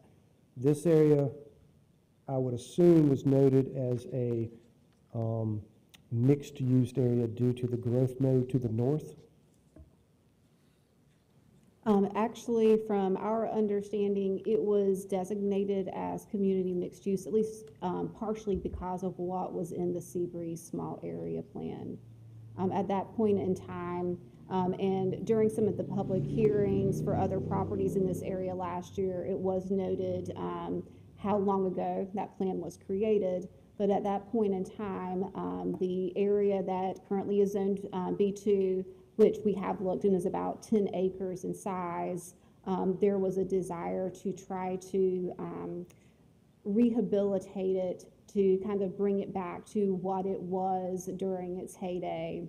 Um, and so the, in, the additional density was intended both because of the Carolina Beach roadway and then also to help support a potential commercial node in that B2 area. Okay, all right, so taking into account what was currently on the ground as far as zoning and trying to use that to the advantage of the mixed use. Correct. Gotcha, okay, all right. Um, Robert, one of the questions I have, first of all, on the buffer, um, what is exactly allowed in that buffer? I know the county has differing buffer types, um, and this would be the twenty-foot buffer that's allowed on this property or shown on this property. So the twenty-foot buffer is required in addition to that because of the housing type adjacent to residential. single-family residential, there would be a type A opaque buffer, and that could be a variety of things between vegetation, fencing, or a combination of both. Gotcha. As far as the housing, obviously, there's been a lot of discussion on housing um, from both sides, um, and I understand both of the concerns and challenges there with housing. My understanding on this property is an R15, though, that the way that the current UDO is structured, really R10, R5, R7, R15, R20, and really almost any residential use, all of the residential uses are pretty much permitted. Now, some do have specific standards that attach along with those. In this particular piece of property is an R15, duplexes, triplexes, quadruplexes, townhomes, and single-family are all allowed, correct? But they very well may have site-specific standards to those. Correct, so under certain standards of uh, performance residential and uh, those kind of additional buffer So those would be requirements. allowed. What's the maximum height requirement for residential in some of those, for some of those uses? In some of the other R residential zoning districts, Mhm. I can pull that up. Sorry to catch you off guard. It's okay. We can look at that. And I guess my question is more coming to Mr. Chairman of the board. You know, the comments were driven to us as far as the project itself backing up to some of the current single-family. We're literally talking about townhomes that are a single-family residence. They're just structured different and built different. Uh, we're not talking about a multifamily component here. No, I, I- I agree. It's So a the zoning is going to dictate the height, which is no different than the height that was dictated on the other properties that were shown us. Matter of fact, they're probably gonna be higher because I noticed that they were piling-supported structures, because they were probably built into a flood zone. I just kinda wanted, I, just something I noted on that. Um, Mr. Moore, just to confirm, all of our, our residential districts, um, currently the height maximum is forty feet unless they're a piling, um, um, raised structure, and then they're allowed up to forty-four feet. right, we have that exception in the ordinance. Yeah. Um, Mr. Chairman, I don't think I have any further comments right this second. All right, thank you, Mr. Moore. Any other board member care to weigh in at this time? Mr. Hine? Thank you, Chair. I, I may look at things maybe a little bit different than others. Um, when developers come in and look for rezoning, to me, it, it's, okay, give us compelling reasons that are good for the community for rezoning, for the overall good of the community. And there's some very compelling reasons of this submittal. Uh, Firmly believe the drainage plan will improve the drainage for everybody uh, involved, uh, Seabreeze community as well as the developer and future residents of this tract. Preservation of specimen trees is absolutely wonderful. Um, As I did mention, I walked the property and I have the mosquito bites and the sand to prove it. Um, There's some really beautiful trees and at some point in time, you know, whether it's this development or something in the future, you know, a lot of trees are gonna come down, but the concept of preserving those, uh, trees, that's another compelling reason to, to look at, um, the rezoning request. Um, but I, I continue to have severe heartburn over the density, meaning the, the compaction of the, the number of units on the southern border um, that backs up to the houses along uh, Roscoe Freeman and Salt Spray Lane. Um, I just find that the, the land plan itself is not compelling to me, and it's strong enough. The other two compelling reasons, I, you know, gives me positive feelings, but that in and of itself kind of overrides the compelling reasons. I feel like it's not a compelling land plan. All right, thank you very much. Mr. Tarrant? Thank you, Mr. Chair. Um, during last month's presentation, I was pretty outspoken about my concerns regarding the wetlands area and the overall drainage plan. And, and I do commend the revisions that have been made to the concept plan because I do feel they've at least addressed, um, you know, they've made some considerable concessions to those particular areas. Um, up in the north, uh, northeast corner specifically, and then, you know, obviously down towards the, what, southwest corner. Um, I, again, I, I just think the concept plan as revised is much better than what it was, um, when it was originally brought here. And during my comments last month, I did not have an issue with the density. I still don't have an issue with the density. And the use of the townhomes as a transition to the existing single family is exactly what we're looking for um, as we move to development because of this, uh, for the reasons that Mr. Moore pointed out, which is when you have multifamily um, and you have the height associated with the larger multifamily apartment type development, you are looking at, you know, obvious um, site issues, privacy issues, and intrusion into uh, directly adjacent single-family development.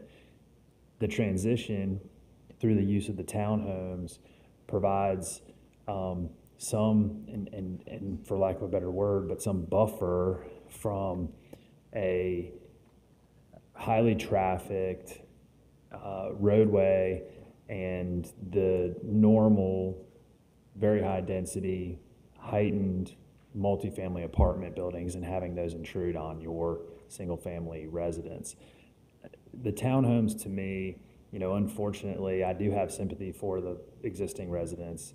Um, there is going to be development in that area. There's, whenever we have vacant property in this community, um, someone's looking to buy it and someone's looking to build on it. Um, everyone wishes that their adjacent property could stay nice and wooded and, and, uh, and, and free of, of development. This board, I know, has had multiple applications come before us in the Seabreeze area. And I'm very familiar with Seabreeze, and most of the members of this board are very familiar with Seabreeze because of those applications and because of, um, you know, our, our time here in the community. And we've, I think, done our best to be very sensitive and cognizant to the history of Seabreeze, um, to the fact that we are aware of the type of community that it is. Um, the location of this particular application is not in the interior of Seabreeze, and it does make a difference. Um, it is adjacent to the thoroughfare, to Carolina Beach Road. Um, and so that's not lost on me.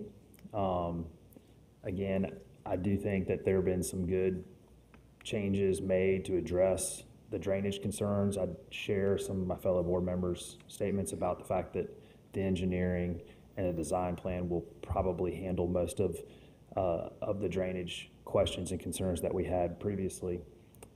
But I'm not concerned about the density, um, particularly. Thank you very much. Um, Mr. Matthews or Mr. Avery, did you? All right. Thank you, Mr. Chair. Um, First off, I'd like to um, commend the neighbors for, for coming out tonight. Uh, You're organized, you are organized, uh, you're civil, and unlike so many neighborhoods that, um, that come before us, you had the courtesy and the intelligence to touch on a number of different points rather than hitting on the same one, and we thank you. Um, You know, it's, it's tough. You don't want to, to to change anybody's perfect world. Uh, when we're looking to do, make decisions on where to increase density, we've got to consider, you know, how, how far it goes off of a main road, how deep into a community it goes, uh, whether or not it's proximate to, to a stoplight. Very few, very few um, remaining tracks are immediately proximate to a controlled intersection, and that on a place like Carolina Beach Road, that, that is important. I mean, some people are gonna want to go and turn left and, and go to Carolina Beach for certain. Um, that service road, while uh, several people, Ms. Tiley, I remember, made, made a very good point, provided pictures. I wish it were more than 35 feet off the intersection. Uh, It's not, but at least there is a controlled um, intersection there, which is better than many of the other uh, tracks we've been asked to make a decision on.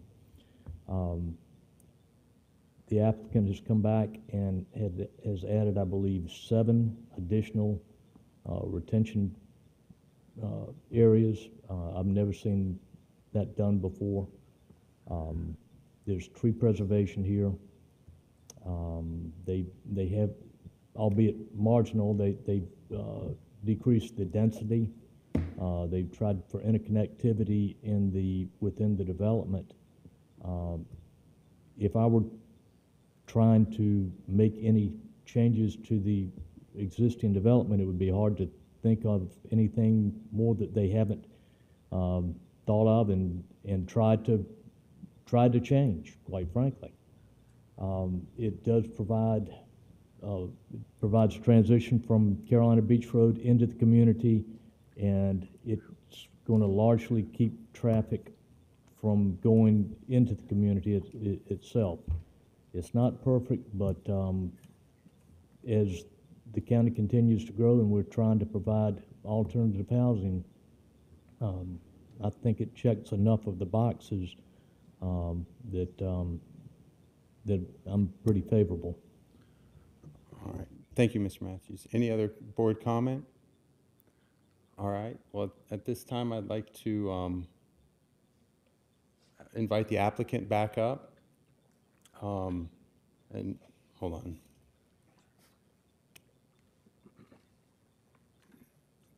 Based on, on the board discussion and items presented during the public hearing, would you like to withdraw your petition, request a continuance, or proceed with a vote? Thank you, Mr. Chair. We ask that you please proceed with the vote. Thank you very much. All right. Before we go to a vote, I would like to point out uh, the comments that we got today from Robert. Uh, One of the property owners has asserted that this property, being a wildlife mecca, it has endangered species on it, uh, red cockaded woodpeckers and northern saw-whet owls. That's far from true. Uh, Saw-whet owls are not endangered, or red cockaded woodpeckers are, but that's not habitat suitable for red cockaded woodpeckers just for the record. But since that goes as part of this public record, just want to make sure that we don't make statements that aren't true, true. Thank All you. right, thank you. Thank you, Mr. Well, at this time, I'll entertain a, a motion from the board.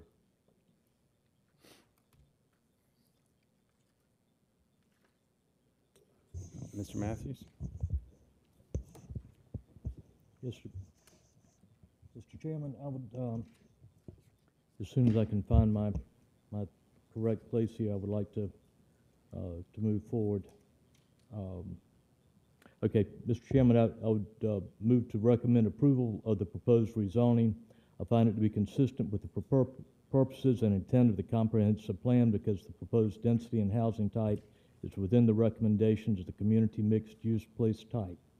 I Also find recommending approval of the rezoning request as reasonable and in the public interest because the project provides housing diversity and an appropriate density to act as a transition between the, the highway and residential development to the east, and the proposed additional conditions reduce some impacts on environmental concerns. I would also like to add the pro- proposed conditions. The project as shown on the submitted site plan shall be developed with water and sewer connections to a private wastewater system. Private wells and septic systems are not allowed for residential development as contemplated on, on the site plan. As identified on the site plan, certain existing trees will not be removed. Three, the, the zoning approval and development contemplated therein shall not impact the current and future lot owners that own the following parcels. Um, R08518-001-0014-004 Next one being RO eight five one eight dash oh oh one dash oh one five dash zero zero zero, as well as RO eight one, eight five one eight dash zero zero one dash zero zero five dash zero zero two.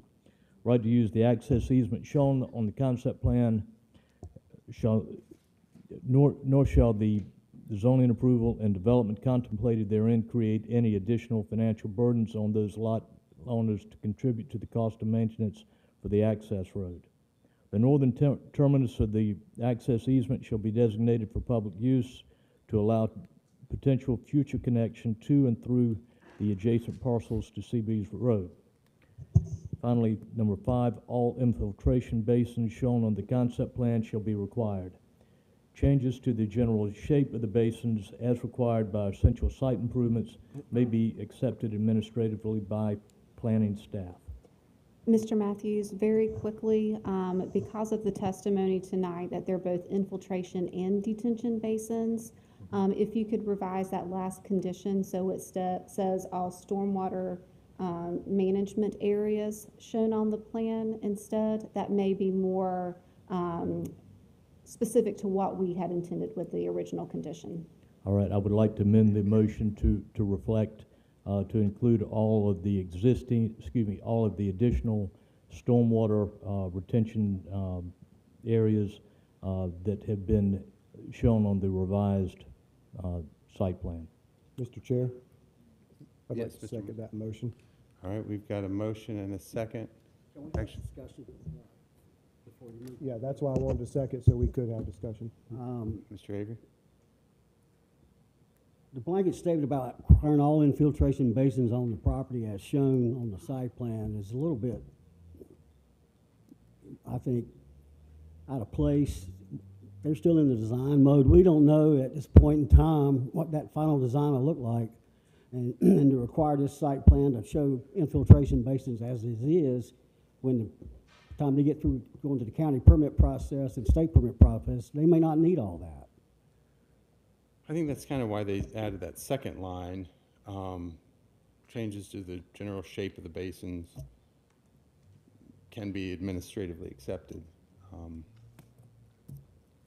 I get that, but those will be dictated by the county engineering department and by state of North Carolina. Agreed. Are you requesting an amendment to the I'm not motion? requesting amendment, Mr. Chairman. I, uh, was- I'm just, have a little heartburn with that, but I can live with it. All right.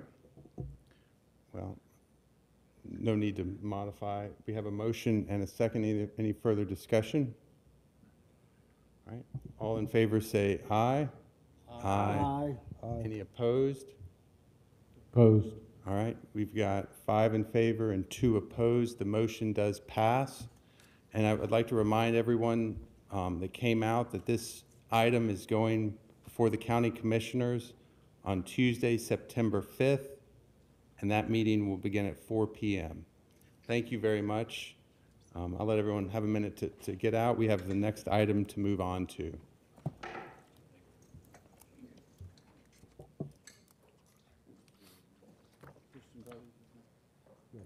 Yeah.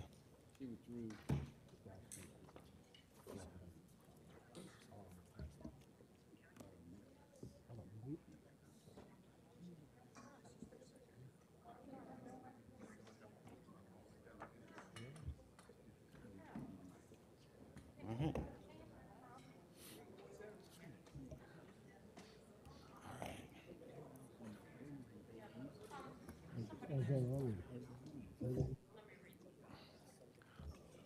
All right, I'd like to go ahead and keep moving, just in an effort to not have this meeting run so late. We're going to jump to item number three. That is a request, sorry, for zoning map amendment application Z 23-16, request by Aaron Hutchison with Summit Design and Engineering Services, applicant to rezone approximately 1.34 acres zoned R15 residential located at 4580 South College Road to CZD CB Community Business for a vehicle, service station, minor and other limited uses. This is a public hearing. We will hear a presentation from staff. Then the applicant and any opponents will each be allowed 15 minutes for their presentation, an additional five minutes for rebuttal. Um, At this time, I'd like to ask staff for their presentation. Mr. Biddle. Thank you, Chair, members of the board. This application is a request to rezone approximately 1.34 acres from the R15 residential district to conditional community business district for a maximum 6,000 square foot minor vehicle service station. The site is located at 4580 South College Road. Both the site and the majority of the surrounding area have been zoned R15 since 1969. At that time, the purpose of the district was to ensure housing densities remain lower due to the need for private wells and septic systems. Since then, public water and sewer services have become more available in the area. Though CFPUA water is available, sewer access will require a mainline extension. This aerial photograph details the surrounding land uses. West of the proposed development is the approved performance subdivision, Jasmine South. Also west is a residential development within the city of Wilmington that is intended for attached and single-family residences. Northeast is the Whiskey Branch planned developments. And though zoned R15, both the adjacent north and south properties are non-residential in use. Here's the same aerial photo with images of the property from different angles. The top image is taken along Jasmine Cove Way. The bottom image was taken along the South College Road corridor. Here are examples of single-family residences you might see in the R15 district. The 6505 Carolina Beach Road image is an example of a single-family residence along a major corridor, whereas the Cottage Grove is an R15 performance subdivision. Here's an example of a minor vehicle service station that is similar to what is being proposed at the subject parcel. This particular service station is found off of Market Street in the Porter's Neck area. Minor vehicle service stations consist of operations that involve small repairs to personal vehicles, consisting of oil changes, wheel alignments, and muffler repair or installation. Here we have the applicant's concept plan. Applicant has proposed site access to be from both South College Road and Jasmine Cove Way. However, NCDOT has noted a preference that precludes the South College Road corridor as an access point. The proposed structure is a 6,000 square foot building with 10 bay doors. Five of the bay doors will be on the eastern side of the structure facing South College Road. The other five are to be on the western side. As per the applicant, each bay door is to serve an individual vehicle, allowing up to 10 vehicles to receive maintenance at one time.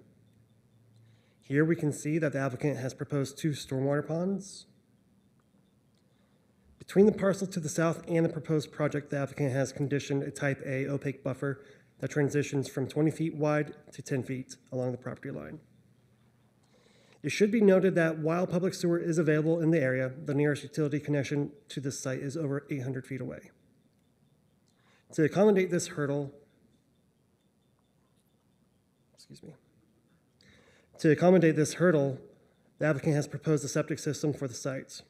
With that said, the board should note that the site has identified class three soils, which can present severe limitations to private septic systems. However, a condition has been provided that a soil scientist will evaluate the site to discern if a private septic system can be accommodated or not. In the event that it cannot, the applicant will be required to find an alternative septic system or tie into the main sewer line. Here's an image of the proposed structure along with the estimated elevation. The proposed use, minor vehicle service station, is permitted by right within the CB district. However, there are additional use standards that apply, such as the automotive towing operations are prohib- prohibited, all, re- all repair work or lubrication shall be conducted within the principal building. No operator shall permit the storage of motor vehicles for a period of excess 24 hours unless the vehicles are enclosed in the principal building. Service or customer vehicles shall be parked on the premises in a manner that will not create traffic hazards or interfere with the vehicular manu- maneuvering area necessary to enter or exit the site, and the premises shall not be used for the sale of vehicles. Excuse me. No outdoor work shall be performed except in areas designated for such activity on an approved site plan, and Outdoor work areas shall be fenced, walled, or screened to minimize on-site and off-site noise, glare, odor, or other impacts.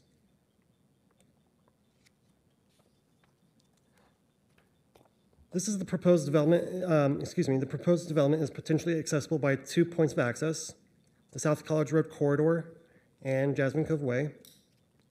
Due to planned highway improvements in the area, however, NCDOT's preference is to preclude the South College Road access point making Jasmine Cove Way be the sole means of ingress egress. These arrows detail the means of entry to the site.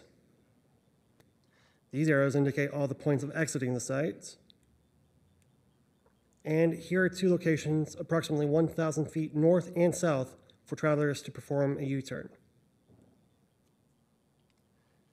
Nearby, there are two approved higher density projects un- under development, a subdivision and a planned development. These projects have triggered a traffic impact analysis and one state transportation improvement program, the details of which are in the staff report. Trip generation, uh, this slide depicts the estimated trip generation for the site. The proposed development would generate approximately 66 AM and 67 PM peak hour trips. The estimated traffic generated from the site is under the 100 peak hour threshold that triggers the ordinance requirement for a traffic impact analysis, or TIA. Though this project was not considered in the Whiskey Branch Plan Development TIA, general traffic growth in the area was included with recommended improvements to accommodate future growth.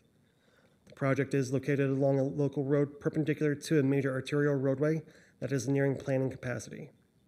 The local road, Jasmine Cove Way, is accessible by a right turn in and exiting is a right turn out. A U-turn to go north on the South College Road corridor is approximately 1,000 feet southbound of the Jasmine Cove Way. In addition, the project will be subject to NCDOT driveway permitting. Due to the site's size and proximity to the College Road corridor, the parcel is less likely to be developed residentially. The proposed development is located within a mile of the Monkey Junction growth node. While the immediate portion of the South College Road corridor has not seen commercial growth, the CB district is designed to provide lands to accommodate developments of businesses that serve surrounding neighborhoods with goods and services needed for a variety of daily and long-term purposes. The comprehensive plan designates this property as being a part of the community mixed-use place type. This place type includes commercial uses and encourages infill developments along highway corridors. In addition to serving as a transition between the highway and neighboring residential uses, the proposed project will provide a use that could be appropriate in nodes as well as transitional areas while providing service to nearby residents. Staff has found that the proposed zoning request is generally consistent with the 2016 comprehensive plan. Because the propo- proposed project provides for the pro- types of commercial uses recommended in the community mixed use place type. The proposed project is found to be reasonable and in public interest because the proposal allows a service-oriented use that could serve as an appropriate transition between the highway and ex- existing residential uses. As a result of the policy guidance of the 2016 comp plan, zoning considerations, and technical review, staff recommends approval of the request with the following conditions related to buffer yard requirements, driveway access, tree retention, utilities, and a limit to the permitted uses for the rezoned property. Should the rezoning be approved, development of the site will be subject to additional development review to ensure all land use regulations are met. This concludes my presentation. Representatives of the WMPO and engineering are here, and the applicant has prepared a presentation and can answer any questions. All right. Thank you, Mr. Biddle. Um, If you'll stay right there for a second, I think Mr. Avery's got a question. Yes, Mr. Biddle, could you um, go over the definition of vehicle service station minor? I I saw what's in the text here. I'm a little confused as to what services are actually allowed. Um, They have 10 bays proposed, and I'm- I can't imagine them surviving without tire cells. And you mentioned wheel alignment, but I didn't see anything about tire cells. Can you elaborate on that? Absolutely, yes, sir. So the uh, definition is uh, personally owned vehicles, essentially, I'm paraphrasing here, that does everything from wheel alignment to wheel patching, tire uh, replacements, um, exhaust installation and or repair, oil change, uh, chassis lubrication. Um, And I think that's the extent of, or just about the extent of the vehicle minor service station. I thank you for that. I'm still a little bit confused as what really can be done under that definition. Um, I'll, be- I'll think about it some more. I just haven't got it sorted out in my head yet. Thank you. So, Mr. Biddle, they couldn't do, because I think you're, thank you for your presentation first. Thank you, sir. Um, Since there's no outdoor work proposed on the site plan, um, they wouldn't be able to do that. As well as you mentioned, they couldn't do vehicle sales. I'm assuming under the zoning code, they couldn't leave vehicles, um, broken down vehicles for long periods of time. Could they do the, I'm trying to think of what would be an eyesore for this area, the U-Hauls, movement through there, those kind of things would not be permitted, is that correct? U-Hauls are not part of the uh, vehicle service station. Um, The definition for minor vehicle service station is for personally owned vehicles, not for like fleet vehicles or uh, moving vehicles or, or commercial vehicles. Okay, okay. Mr. Chairman? Yes, Mr. You made a Mr. Moore. Interesting point there, though, as far as vehicles that are being, um, I guess, in the queue, so to speak, to be worked on. Um, let's say that all ten bays are full of vehicles right now being worked on, and I bring my car up there, my truck, and I've got to wait till Wednesday or next Wednesday to get it fixed. How's that handled in this zoning ordinance? Excellent question, sir, and one that I think the applicant would be more apt to answer than I Okay, can. that's fine. I will pull up the site plan for you, though, and we can speculate.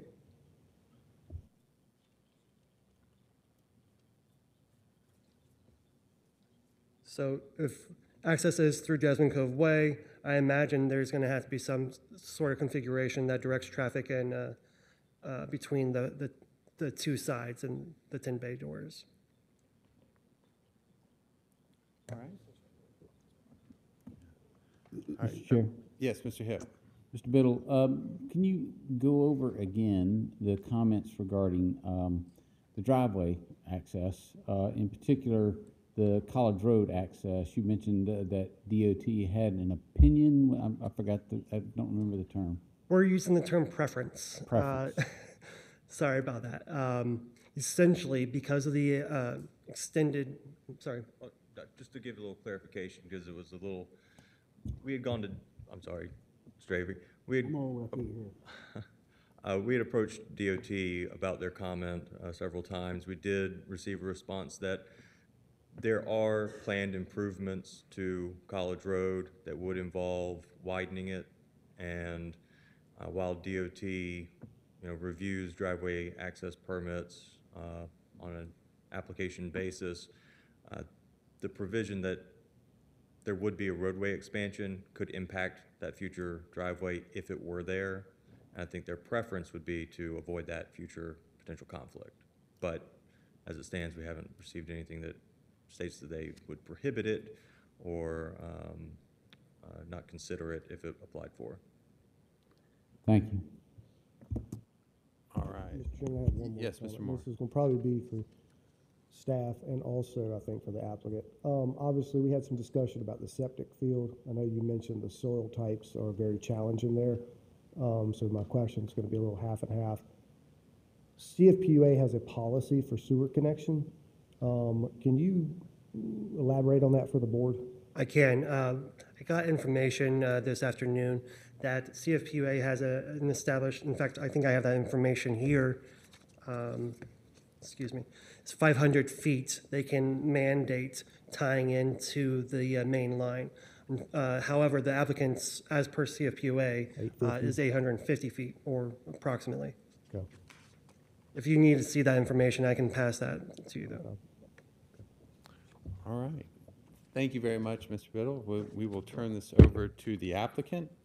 Um, At this time, I, I would invite the applicant, and um, we have, I think, Mr. Greg Thompson and Aaron Hutch- Hutchinson um, signed up uh, to to speak in support, and we actually also have four other people to speak in support, James Moore, James Schmidt, Danny Gore, and Lewis Smith. Um, if that's, if that's correct. So, um, please, we, you have 15 minutes. Please, please give us your presentation. Certainly. Oh, good evening, uh, Mr. Chair members of the board. Greatly appreciate you uh, allowing us the time to speak on behalf of Christian Brothers Automotive this evening. Uh, My name is Aaron Hutchins with Summit Design and Engineering Services. Um, Uh, I do have with me the project engineer, uh, Mr. Greg Thom- Greg Thompson. Uh, We had hoped to have a res- representative of Christian Brothers here with us tonight to answer any specific details. Unfortunately, they had a commitment and could not make it. They do send their apologies. So I will do my best to answer any Christian Brothers specific questions on their behalf. Uh, With that, we are here to uh, request uh, uh, recommendation for approval for the conditional rezoning at 4508 College Road for the Christian Brothers Automotive. Uh, Just a general overview into what Christian Brothers Automotive is and what they provide. Uh, You can see on the screen, but uh, uh, generally, they're a low-impact, environmental-friendly automotive service repair center provider with a concentration in light automotive maintenance services such as diagnostics, brakes, fluid maintenance, oil changes, and cooling systems. Uh, These are generally the top five services they provide at all their facilities. Um, All cleaning supplies are environmentally friendly, delivering no pollutants to the environment. Uh, CBA also strives to achieve an aesthetic, uh, uh, uh, an a high aesthetic standard, excuse me, uh, for architectural style and the materials that they provide with their designs. Their general hours of operations are Monday through Friday from 7 a.m. to 6 p.m., with the one exception being the one, uh, first 180 days of business, and that's just to help get the location established. Uh, Here we have a typical set of site requirements for uh, each Christian Brothers Automotive. Um, Roughly uh, three-mile population greater than 30,000 people. Um, uh, Typical lot size is anywhere from .7 to 1 acres. Uh, In this case, we're a little bit larger for this particular request. And generally, their use is light in nature and minor, uh, considered minor auto uh, automotive repair. Christian Brothers facilities are developed, uh, as I said, to a standard of higher features and uh, architectural elements that helps mesh uh, residential neighborhoods with other commercial uh, uses, uses nearby. Christian Brothers shops service approximately 4,200 vehicles per year per shop, and shops are highly rated on Google with an average uh, 4 star, 4.7 star rating. All shops are independently audited by the AAA as well as RepairPal for training, certifications, equipment, and customer satisfaction. Uh, As you can see on the, the screen, the lobbies are quite indicative of a, a hotel or a doctor's office, and that's in an effort to ease the transition for uh, folks entering the facility that may not be comfortable with auto repair uh, maintenance needs, and uh, in an effort to make them feel a bit more comfortable and welcoming. Uh, Same can be said for the uh, entrance to the facility. Uh, Again, it's intended to be inviting and welcoming and mesh well with the community it surrounds, or that surrounds it, pardon me. Much like we saw from the staff's presentation, here's a vicinity map for the location. Here we have a, uh, uh, the surveyed boundary uh, underlaid on an aerial to help uh, depict the existing condition- conditions, which as you know by now is uh, significantly treed. Uh, Just to give some background into where we're at in the process and the steps that we've taken to get to this point, on April 5th, we held a pre-application conference with New Hanover County staff. We reviewed a very preliminary conceptual layout at that time, and then we discussed the proposed use as it relates to the future land use map, uh, community mixed-use place type. And then we discussed the uh, community, the community uh, business district, excuse me, business district as a baseline set of guidelines for buffers, setbacks, and the like for the property. Uh, As well, we discussed the challenges of connecting to public sewer. We discussed minimizing runoff to College Road, uh, the College Road right-of-way. Uh, Later in May, as we were trying to nail down the specific elements of the site layout uh, for the client, on the client's behalf, uh, we did reach out to staff and ask for them to confirm that the UDO had no set requirements with regards to bays facing the public right-of-way, or in this case, College Road. Uh, we, we had on, we've had ongoing discussions with NCDOT with regards to the driveway pla- placement. That was based on some of the feedback that we had received in our community engagement. We are currently awaiting uh, perc test results uh, from soil scientists uh, to properly evaluate the septic field and uh, the feasibility of that. And then uh, we had the tree inventory uh, completed on April 11th. For our community engagement, we uh, created a mailing list based off the county's specific cri- criteria for doing so uh, for um, property owners within the uh, 500 feet of the uh, the the parcel location. Uh, We arranged a meeting and coordinated that with the Cedar Grove Assisted Living Facility.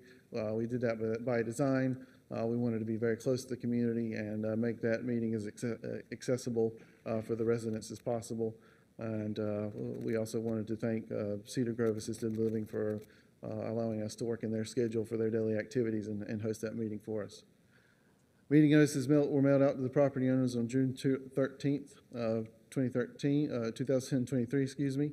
Notices were po- postmarked on June 15th, and only two of those notices were retur- returned. Uh, The community, commuting themselves on uh, June 27th, as was said, from 6:30 to 7:30 PM. Five members of the community attended the meeting. Uh, Four of those were rev- residents of the Jasmine Cove neighborhood. Uh, Their general concerns were uh, impacts to traffic along Jasmine Cove Way. Uh, They also shared a concern for the need of a signalized intersection at the intersection of Jasmine Cove Way and College Road. Uh, And as well, they were worried about tree removal from the site and the buffer that it presently provides uh, to traffic and noise along College Road. Uh, We had many conversations with the residents.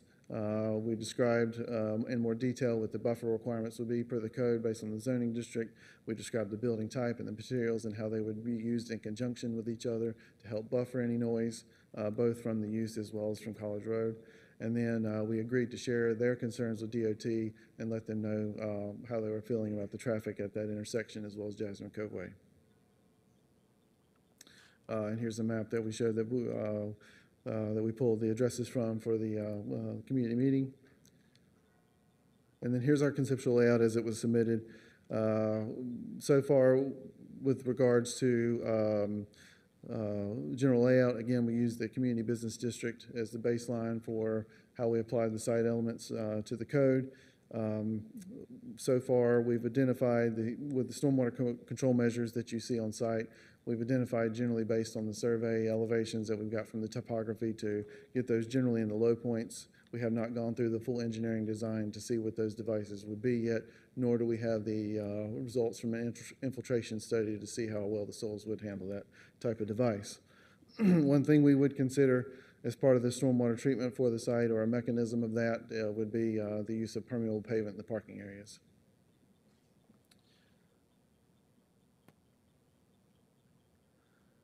And that in general concludes the presentation. Uh, Again, I have uh, my- the project engineer here, uh, Mr. Greg Thompson, if you have any uh, specific technical questions. All right, thank you very much. Do we have uh, board questions? Mr. Hipp? Thank you, Mr. Chair. Uh, Thank you for the presentation. Um, uh, Interesting project, uh, attractive project for Carolina Beach, uh, for South College Road, I think it'd be attractive. Uh, Question, though, is this, is this a prototype uh, that that Christian Brothers does in other locations? Yeah, great question. They do have a series of set prototypes. Uh, Aten Bay is the largest of the prototypes that they have with their assessment of the area and the need that they see here. The Ten Bay is what they propose. They do have a nine bay version. It's more linear uh, and uh, would would take up more land space along a singular property line. But uh, yeah, they, they generally have two prototypes. Um, And I'm sorry that uh, a representative isn't here, because this is kind of a specific question. Uh, You know, the, the the zoning, the proposal does not allow any exterior storage of, of, of any merchandise or anything. And there's almost no storage in there. I'm not a mechanic. So uh, how, where do they keep the oil cans and the coolant and the brake pads and? They do keep that in an interior storage area, uh, and if there is a vehicle that needs to be serviced and uh, must be left overnight, they do pull that inside, and it is enclosed in the building overnight. All right. If it's a prototype, I assume that they're addressing that and, and, and they've addressed it over time. They have it's- a very the- efficient The plan process. did not seem to show really a lot of storage for, uh, equipment or, uh, repair parts that they might use. Understood. Thank you. Yep. All right. Th- Thank you, thank you, Mr. Hipp. I have actually a a question. Um, Obviously, you wanted to hook up to public sewer. Yes. Um, We want you to hook up to public sewer. Um, Our county has spent a lot of money on extending. We- We hate to see septic coming in, um, but if that's, if that's what it has to be, um, we- we understand that. Um, I guess one of the questions I had was seeing stormwater with proximity to potentially septic fields. Um, and also, you, you really mentioned you hadn't done the stormwater design, but my question was, because a lot of times the comments we get, neighbors are always worried about flooding here, as, as you know. Um, Do you even know what direction that stormwater, your overflows would, would go? Is there a, a ditch series that is near you or adjacent or something? Um, Generally speaking, yeah, the answer is yes. We, we have a rough idea where that go. There is a, a relatively flat ditch in Jasmine Cove so not a lot of capacity there, obviously, for it to handle additional runoff. So we'd have to be aware, you know, cautious with that. There is a more significant ditch in the DOT right away, but naturally we can't show that we're increasing what we're putting there. Right. Uh, so we've got to handle that accordingly. So it would just be a method of storing and detaining at the correct rate from the site. So you may be going underground, you you mentioned It's certainly a impervious possibility. pavement. Okay. Mm, Underground is certainly a possibility, yes. And are there any requirements, oil water separators, anything because of your use? on Uh, great question. So as a safety mechani- mechanism in an effort to help uh, capture any potential spills, they do uh, implement a 750 gallon uh, oil water separator interceptor, uh, which uh, at any given moment, the most chemicals that they would have on site would be 615 gallons. So that is in, in, intentional to be able to capture the worst case scenario should there be a spill. Naturally, if they do have that oil water separator, that can't go to the septic field, so they would have to uh, apply a pumping system, uh, a pump and haul system for that uh, device. Okay, okay, all right. Any other questions for the applicant? You've got, there's four more people signed up to speak in favor. Are they your team, or they just, do you know? um, I I believe a couple of them may be uh, the property owners, but I Okay. don't- I don't know the full list. Okay, all right. Well, if there are no further questions, thank you for, for your presentation. Um, we still have time, so Mr. James Moore or James Schmidt, Danny Gore, and Lewis Smith all signed up to, s- to speak in support. If anyone would like to do that, now would be a good time to come forward, tell us your name and address. Um, You don't have to speak, but if, if you'd like. Mr. Chairman, members of the board, my name is James Moore. I live at 118 Tanglewood Drive. I am a member of Wilmington Shrine Club, currently the treasurer, who is the seller of the property. Hmm. Just came out in support, nothing to really say. If you got any questions, we'll try to help you. We, d- we are keeping an additional, I think it's a little over four acres that we still will retain for the Shrine Club. So, All right, thank you very much. Any other like to speak, sir? Good evening, Mr. Chairman, board members. My name's Lewis Smith. I'm a member of the Shrine Club as well, native of uh, Wilmington, North Carolina. I'm also the Sudan potentate, which is the uh, CEO of our organization in eastern North Carolina. Um, I went to the previous briefing that was held for the neighbors. I was an observer. I thought they made a very good presentation, had good diagrams. Uh, I can tell you, our organization's been trying to do something with this land for much longer than I've been a member of this club. Um, it's sat unoccupied. We've tried to lease it. We've tried to sell it. And recently, we had three offers. Uh, I was very impressed with the presentation. Uh, I like the aesthetics of the building. It looks like a small fire station.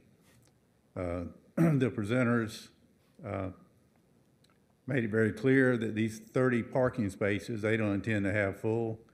They're there for overflow if all the bays are full. Um, We think it's a good fit for the property. I heard the concerns of the homeowners, the loss of the trees. They've got another development going up with 42 units. I've seen very little traffic on Jasmine Way. Um, The traffic condition presented by DOT is complicated when they change that intersection for safety reasons. Uh, We have trouble with it also, but that's a DOT matter. Uh, We use the building very seldomly. We have some small units that meet there. One meets there every Monday night. We may have 10 or 15 cars there, and we're right at the entrance opposite to this land. Um, Once a month, we have a larger meeting. We may have 15 to 30 cars, but it's all right there at the entrance. uh, Very little traffic problems. So we do support this um, plan that's being proposed, and uh, we'd like your consideration. All right, Thank thank you. you very much. Mr. Chair, Mr. Smith, Mr. Hill. excuse, Mr. Smith? Yes. Thank you for your presentation. Um, Question, you mentioned you recently had several other offers. Were any of those related to residential as it's currently zoned? I would have to pass that to Mr. Moore. No, sir, they were, uh, we had one offer about a year and a half ago, and it was commercial, and he wanted the entire project with the exception, or parcel, with the exception of our building. So, Thank you. All right. Danny Gore or Lewis Smith, any interest in speaking? Oh, I'm sorry. James, James Schmidt, sorry.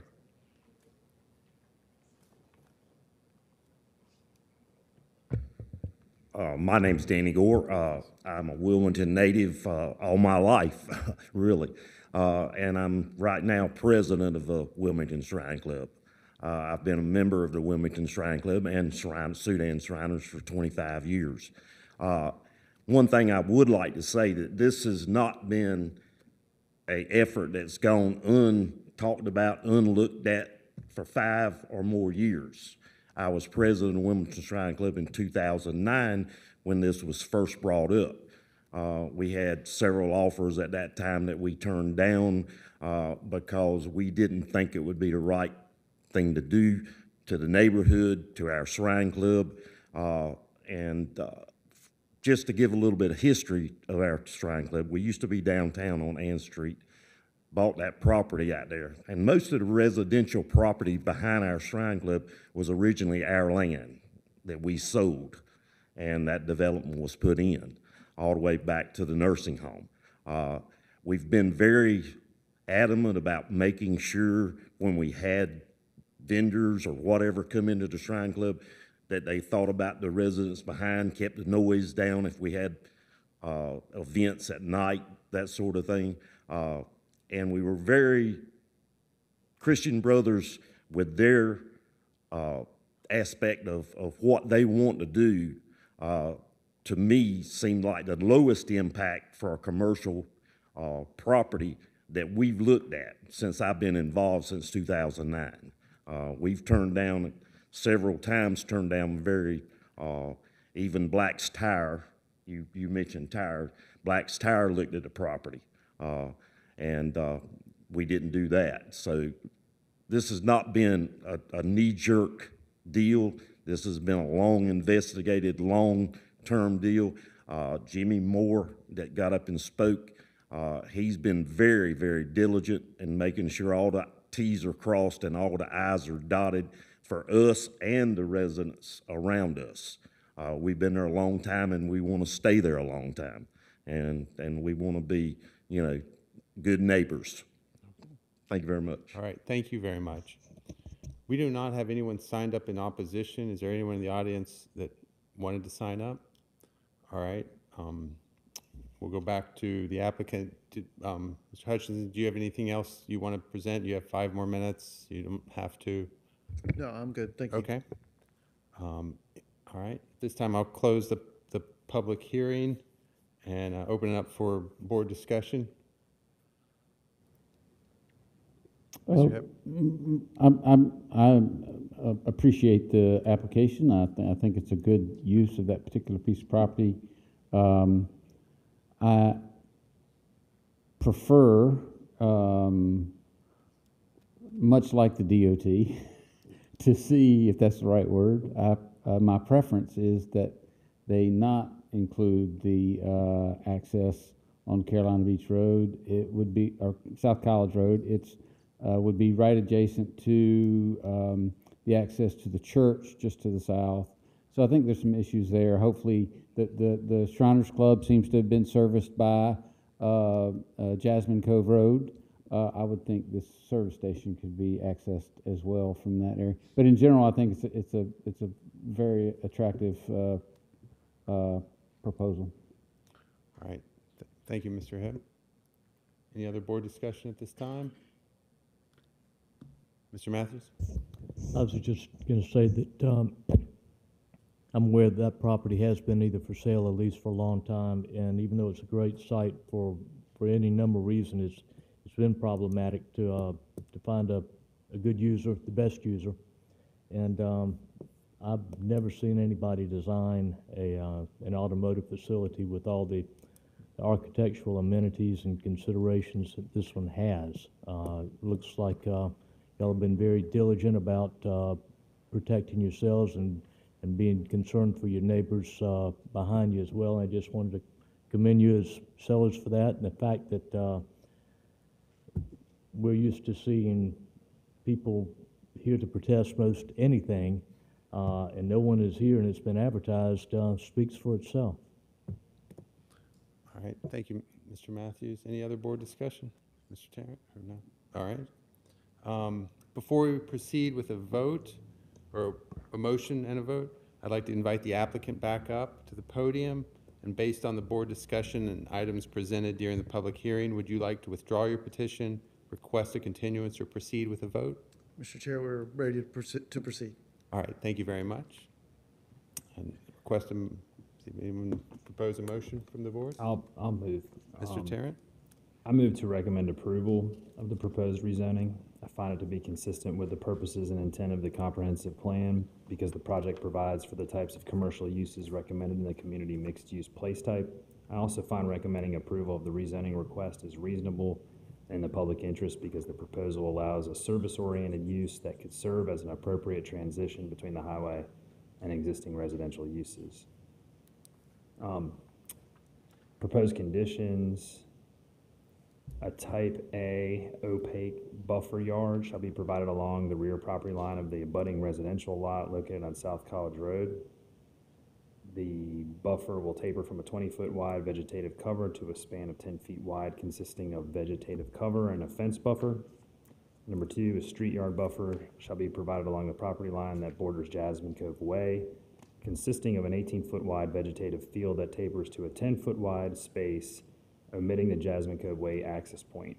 And Number three, planning staff may accept changes to the driveway access locations as required by NCDOT. Number four, existing trees identified on the concept plan shall be retained on that site, on site that are not required for removal due to essential site improvements. Number five, applicant is required to have a soil scientist evaluate the class three soil on site to ensure that the location can accommodate a septic system. Applicant uh, will seek an alternative septic system or tie into the CFPUA line in the event that the class three soil prevents the use of a septic system. And number six, permitted uses shall be limited to vehicle, service station, minor, business service center, repair shop, offices for private business and professional activities, retail s- sales, general and child care center. All right, we have a motion. Can I get a second? Second. A motion and a second. Any discussion? All in favor, say aye. Aye. Any opposed? The motion passes seven zero. Thank you very much.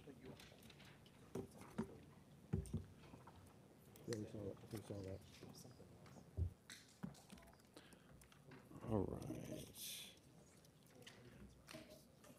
Moving on to the preliminary public forum for a special use application S 23 4 a request by Douglas Grant, property owner, for the use of, for the use of campground and RV park at three parcels located at 8102, 8104, and 8106 Sidbury Road, zoned R15 residential and totaling approximately 19.21 acres.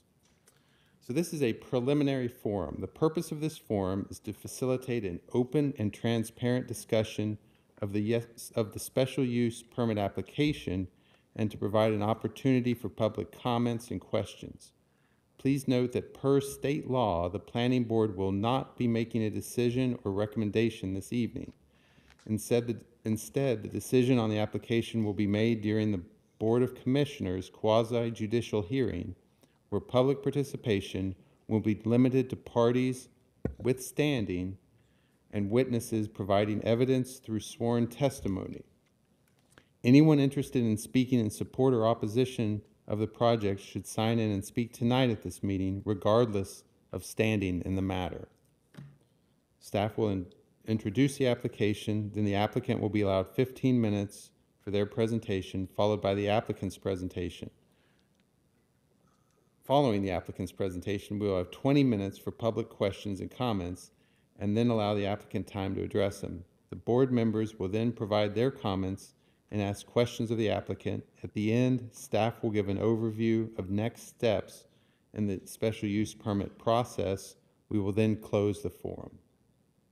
This time, I'd like to turn it over to staff introduction. Uh, Mr. Farrell. Thank you, Chair, and members of the board. Uh, As you just heard, this is a preliminary forum for a special use permit request for a proposed RV park in an R15 zoning district. To elaborate a little further, these preliminary forums allow the planning board to provide advisory review, comments, and suggestions to the applicant and public on potentially relevant and material evidence, findings of fact, and issues or areas the Board of Commissioners may, may need more information on in order to reach a, ret- a required conclusion. And again, please note that as a preliminary forum, uh, neither the planning board or staff will be making a recommendation. When the Board of Commissioners evaluates the request for approval, they must determine that the following four conditions are met. That the use will not materially endanger the public health or safety if located where proposed and approved. The use meets all required conditions and specifications of the Unified Development Ordinance. The use will not substantially injure the value of adjoining or abutting property, or the use is a public necessity. And the location and character of the use, if developed according to the plan as submitted and approved, will be in harmony with the area in which it is to be located and in general conformity with the comprehensive land use plan for New Hanover County. So Getting into the specific request, the site is located in the 8100 block of Sidbury Road, and from the aerial photography, we can see the site is currently wooded and bordered by single-family residential to the north and south, with an equestrian facility to the east, and NCDOT-owned mitigation land to the west. Here's an aerial photo of the site with images of the property from different angles. The property has direct full access on Sidbury Road. The nearby Farm Road is an, sorry, the nearby Farm Road is an unimproved private right-of-way. The property does not access onto Farm Road. Additionally, the site is in proximity immediately east of the future Hampstead bypass that has an anticipated completion date of 2030. The parcels were originally zoned R15 in the 1970s. At the time, the purpose of the district was to ensure housing densities remain lower due to the need for private wells and septic systems. While public utilities are not currently available, New Hanover County has funded a project to extend water infrastructure through the northern portion of the county, ending at the future Hampstead bypass. Due to NCDOT wetland mitigation land and the Sea Green Farms conservation land to the southeast, and existing sewer utilities from Pender County, future development east of the bypass is anticipated to be served by private septic systems or through utilities provided by Pender County. RV parks are permitted with a special use permit in most low to moderate density residential districts to ensure they are appropriately evaluated for the site, for the specific site and surrounding uses.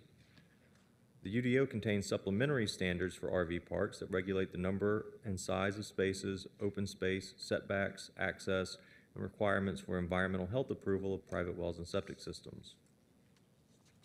The proposed concept plan is for a 66-space RV park that includes a maintenance building, a management office and laundry facility, a clubhouse with bathrooms and a pool, and a .40 acres of passive recreational open space adjacent to a proposed stormwater pond. As proposed, the site will be served by private well and septic. Four areas of the property have been designated as the future septic areas. The applicant is also proposing an additional 50-foot vegetated buffer around the perimeter of the property. Condition has been included requiring the buffer and the preservation of the existing trees. The comprehensive plan designates this property as community mixed use, which is intended to promote a mix of retail, office, and residential development at moderate densities up to 15 units per acre and a building height range of one to three stories.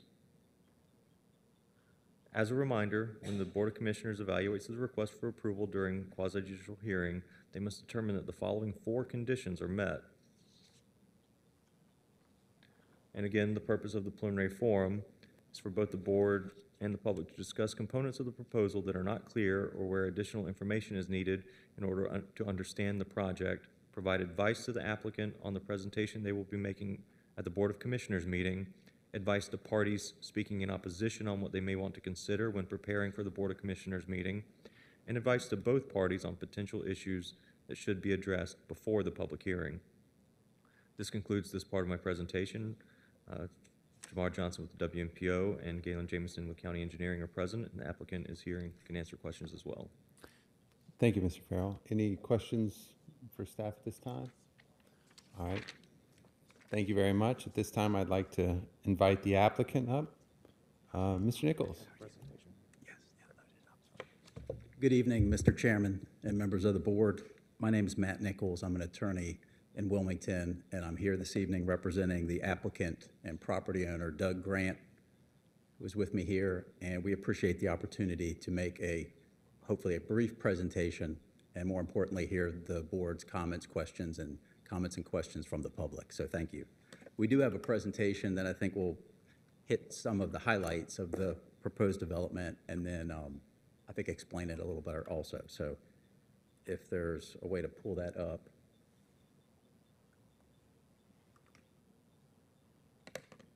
Yes, thank you.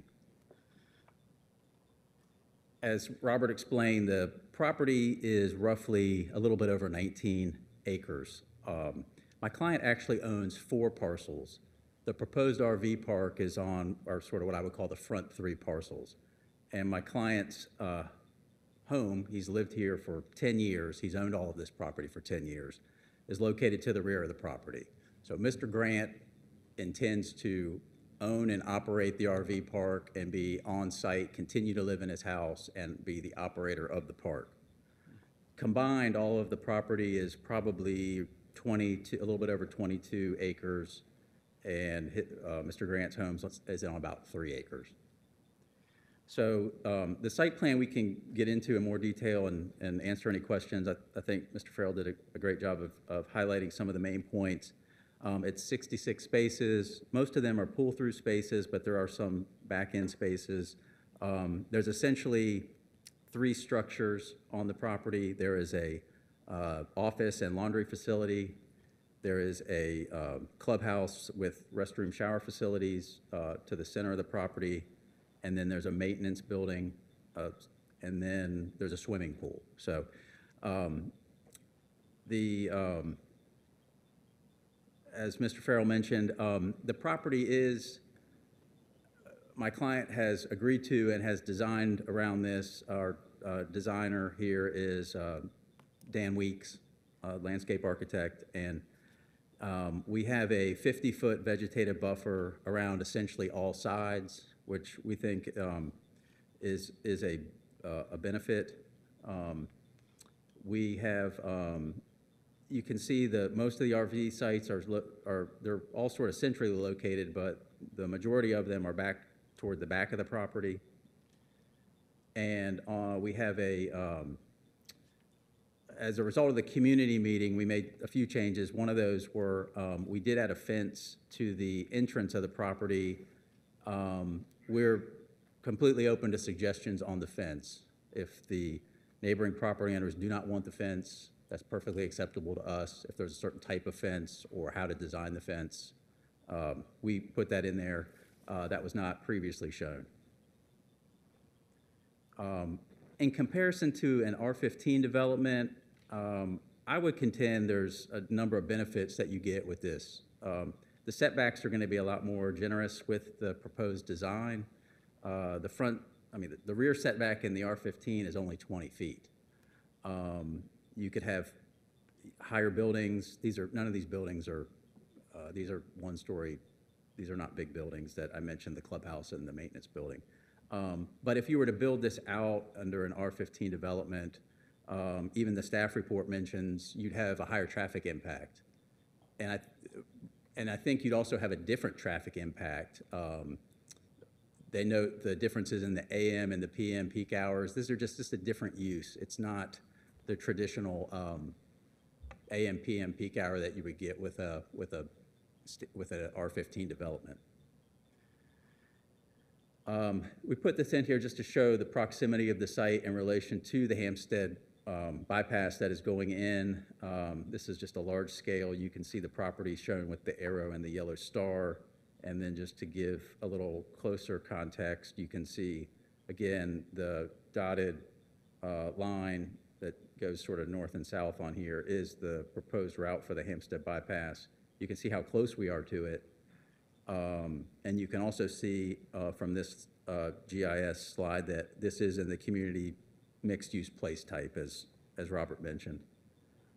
So I listed a few of the benefits that we think um, should be worth considering is with the special use permit, you'll have a specific site plan and we'll be limited to that. We'll also be able to put conditions through the special use permit process. We're doubling the rear setbacks, in many instances, way exceeding that. Uh, The buildings are going to be, I think, smaller than you would see with a residential development. It's less traffic.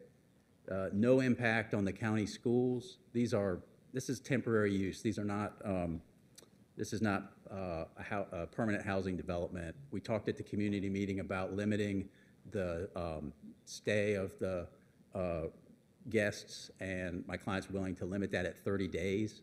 So this is not intended to be permanent use at all. It's temporary use of operational RV, uh, uh, RVs. Uh, And then uh, I think it's important to point that it does support tourism and the local economy. These are, um, you know, RV parks are very popular, and my client is, gonna- again, going to continue to live there. He wants to do a really nice job with it.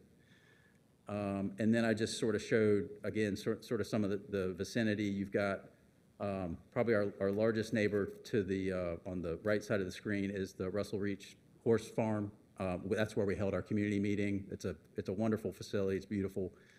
Um, The, um, you can see the applicant's home at the rear of the property, and then a large portion, sort of on the opposite side of uh, the farm road there, is DOT property, and that's where the, the, uh, the bypass is going in, in that general vicinity. So um, with all that being said, we're, we appreciate the, the opportunity to uh, make the presentation and look forward to um, any comments and questions you may have. Um, Thank you for your time.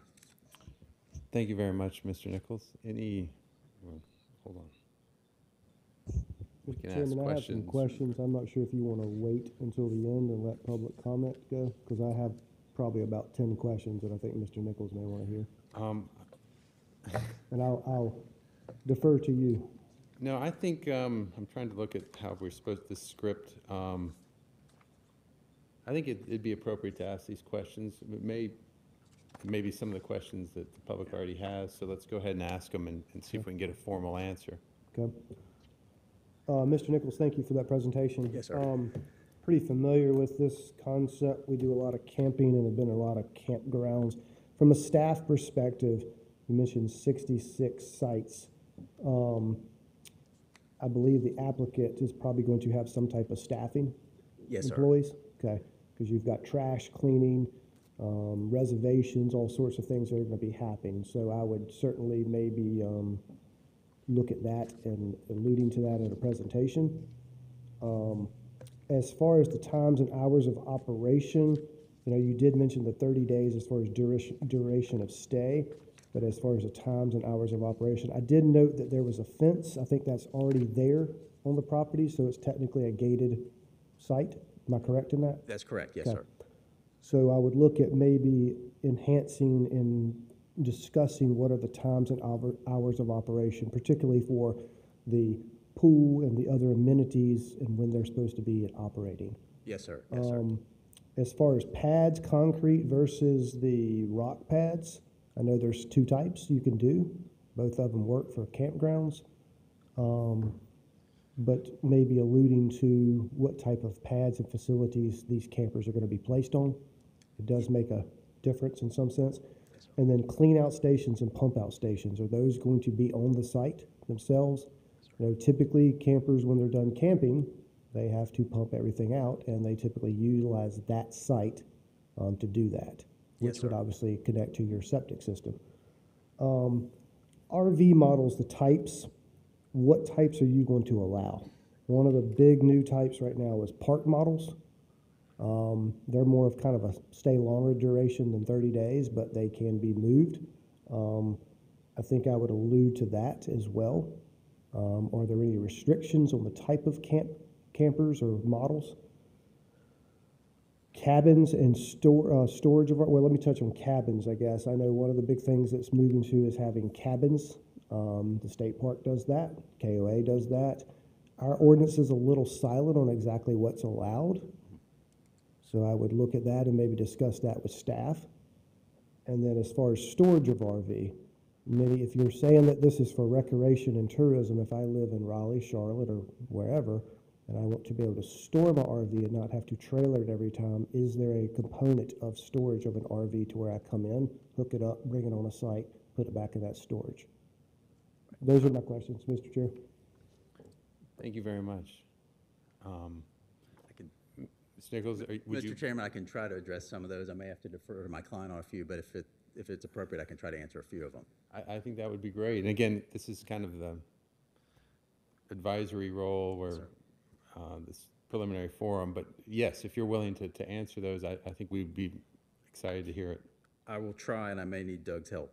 So employees, uh, yes, great point. I think we would anticipate probably three employees, um, including Mr. Grant. Uh, pl- pl- Plus Mr. Grant. Um, And then um, the, uh, sort of the roadways, I would say the driveways in there, the, the ordinance requires 12 feet minimum. We've gone beyond that with 16 feet. There's planned to be asphalt. Um, I think that would be better with not having dust. I think it'll be quieter, be a better use. Um, The sites themselves will be um, similarly uh, paved with asphalt and probably a, not, not the entire site, I would say, uh, there'll probably be a 12-foot strip going through the, say, if you took a typical pull-through site, and then you would have maybe a 10 by 15 or maybe 20 by 15 um, additional pad, and that would be probably for your, you could have the grill, the fire pit, um, things you would typically see at a, at a, a nice campground. Um, I don't think park models were, is that? There would be no park Right, so it would be the class, class A, class C, uh, travel trailers, and, but they would be, um, uh, no, no park models. Um, as far as storage, there's no storage shown or contemplated. It's not for RV storage. At the maximum that we discussed would be, um, someone could could have their uh, RV there for up to 30 days. And that was a big point at the community meeting, that they, that there was concern about not having this turn into someone living there. So my client is perfectly agreeable saying 30 days is the maximum. You would have to, you would have to leave the site after 30 days. Um, But 30 days is still, I think, sufficient time if there was someone in town, maybe on temporary, uh, you know, temporary work or vacation or something, that it would still function well at 30 days. Um, There will be individual um, sewer and water connections at each of the 66 sites, just like you would see it, at what you would typically see at a, at a- at a nicer campground. Um, I don't know if I answered all the questions, Mr. Moore. I understand that because you're going to connect into the system itself, the septic system. So the real question, obviously, maybe if there's going to be a pump out. So in other words, if I'm leaving that site and my RV is full, there's typically a pull-in before you leave at the Yes, sir. park to where you can basically dump your water or your sewer. Yes, sir. Doug, that, yes, Okay. yes. And that, that, again, I think you would typically see that at a nicer campground. I would, I would maybe note that somewhere on the Yes, site sir. plan.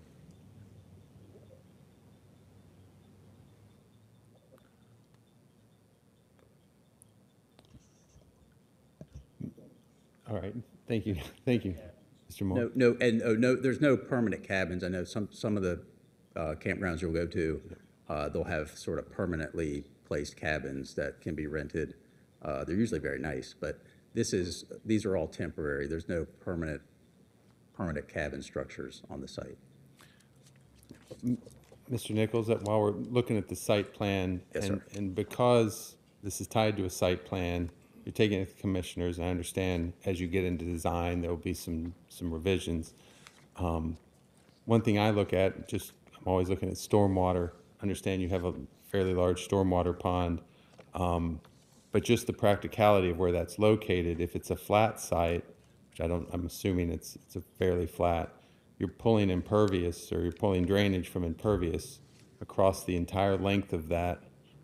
um, area to get to that stormwater pond. I, I- just, I wonder, I know at, at this stage, you try to stay high level. Um, Is there a good outlet there for stormwater? The, the kinds of things that do come up that the commissioners are accustomed to seeing on a pretty well dialed in site plan.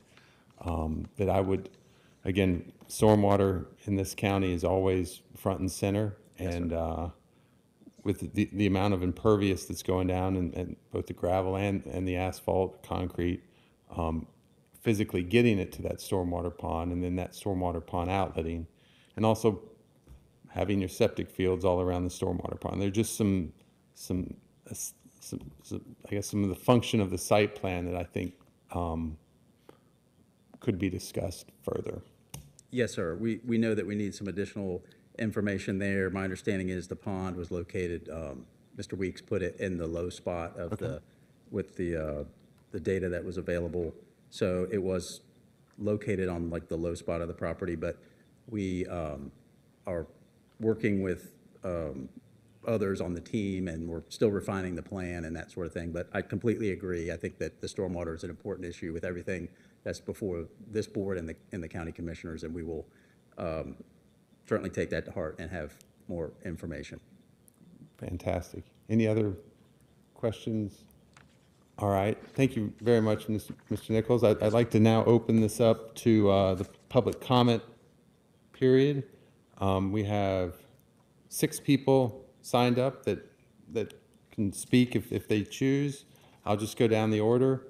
Um, I think we've said, we, we've given 20 minutes. Um, Mary Phillips, if you'd like to speak, please come up to the podium, give your name and address, and, and tell us your thoughts. Thank you.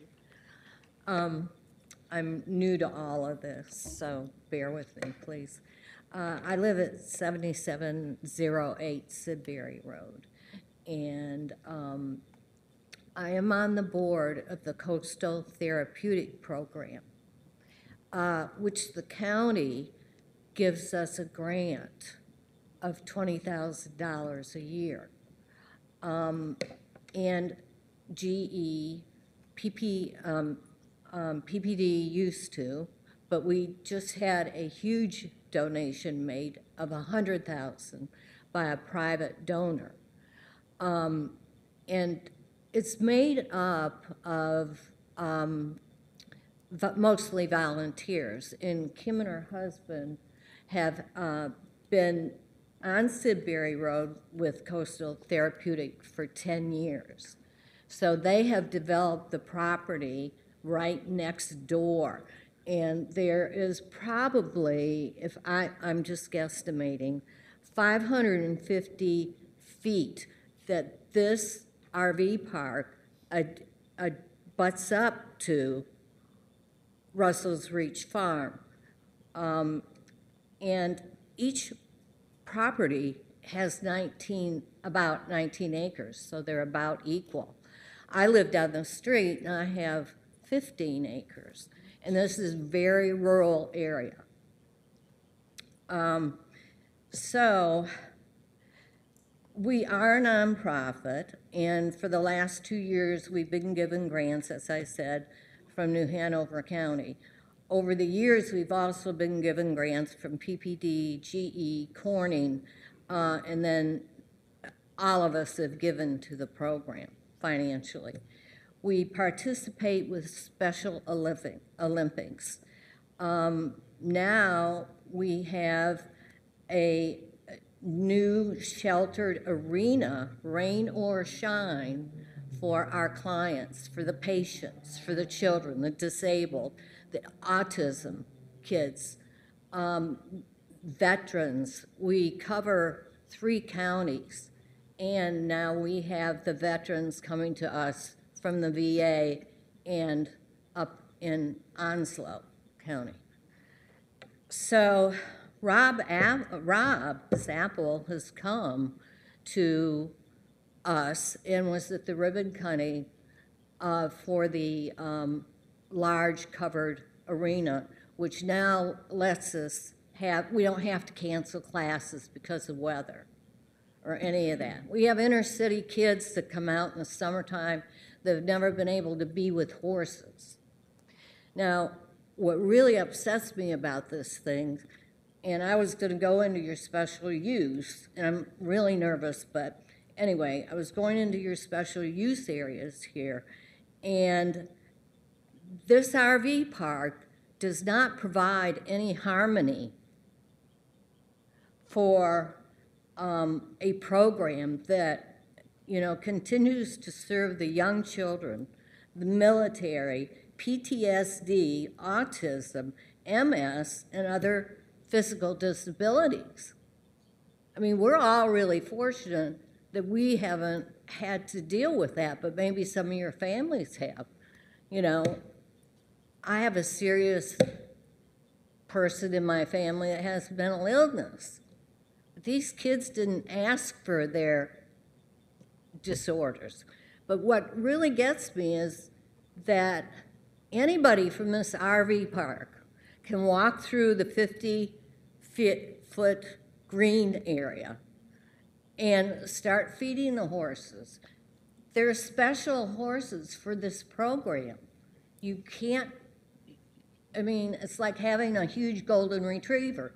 They're good, good animals, and they're special for this service. They're like service dogs.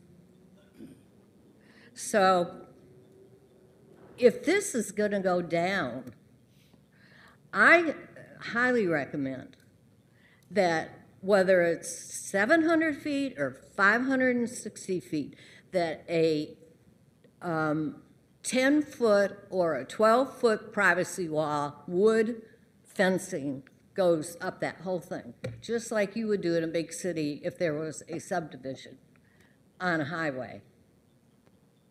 We can't afford to lose our horses to beer bottles, Fourth of July celebrations out in the country. It's just not a fit. I would love to see him find something.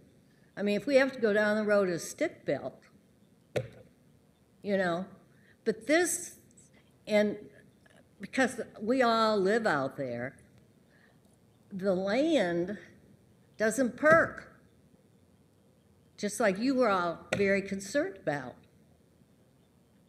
So the slabs that the RVs are going to go on, you know, that we've had such huge rains, and you know the runoff now goes right to Sidbury Road and fills the ditches up. There's no place for it to go. I rest my case. I mean, it's, it's, just really, really sad for a beautiful area that probably some of you guys have gone out there and hunted and, you know, and, the, and we still have black bear out there. What are they going to do with their trash? They're going to have to have trash. I'm, I'm not kidding now. I mean, we have black bear. What will they do with the trash to prevent the bears from coming in to that little community? Thank you. All right, thank you. Uh, Laura Brooks, if you'd care to speak? Okay, declining. Uh, Roger Brooks?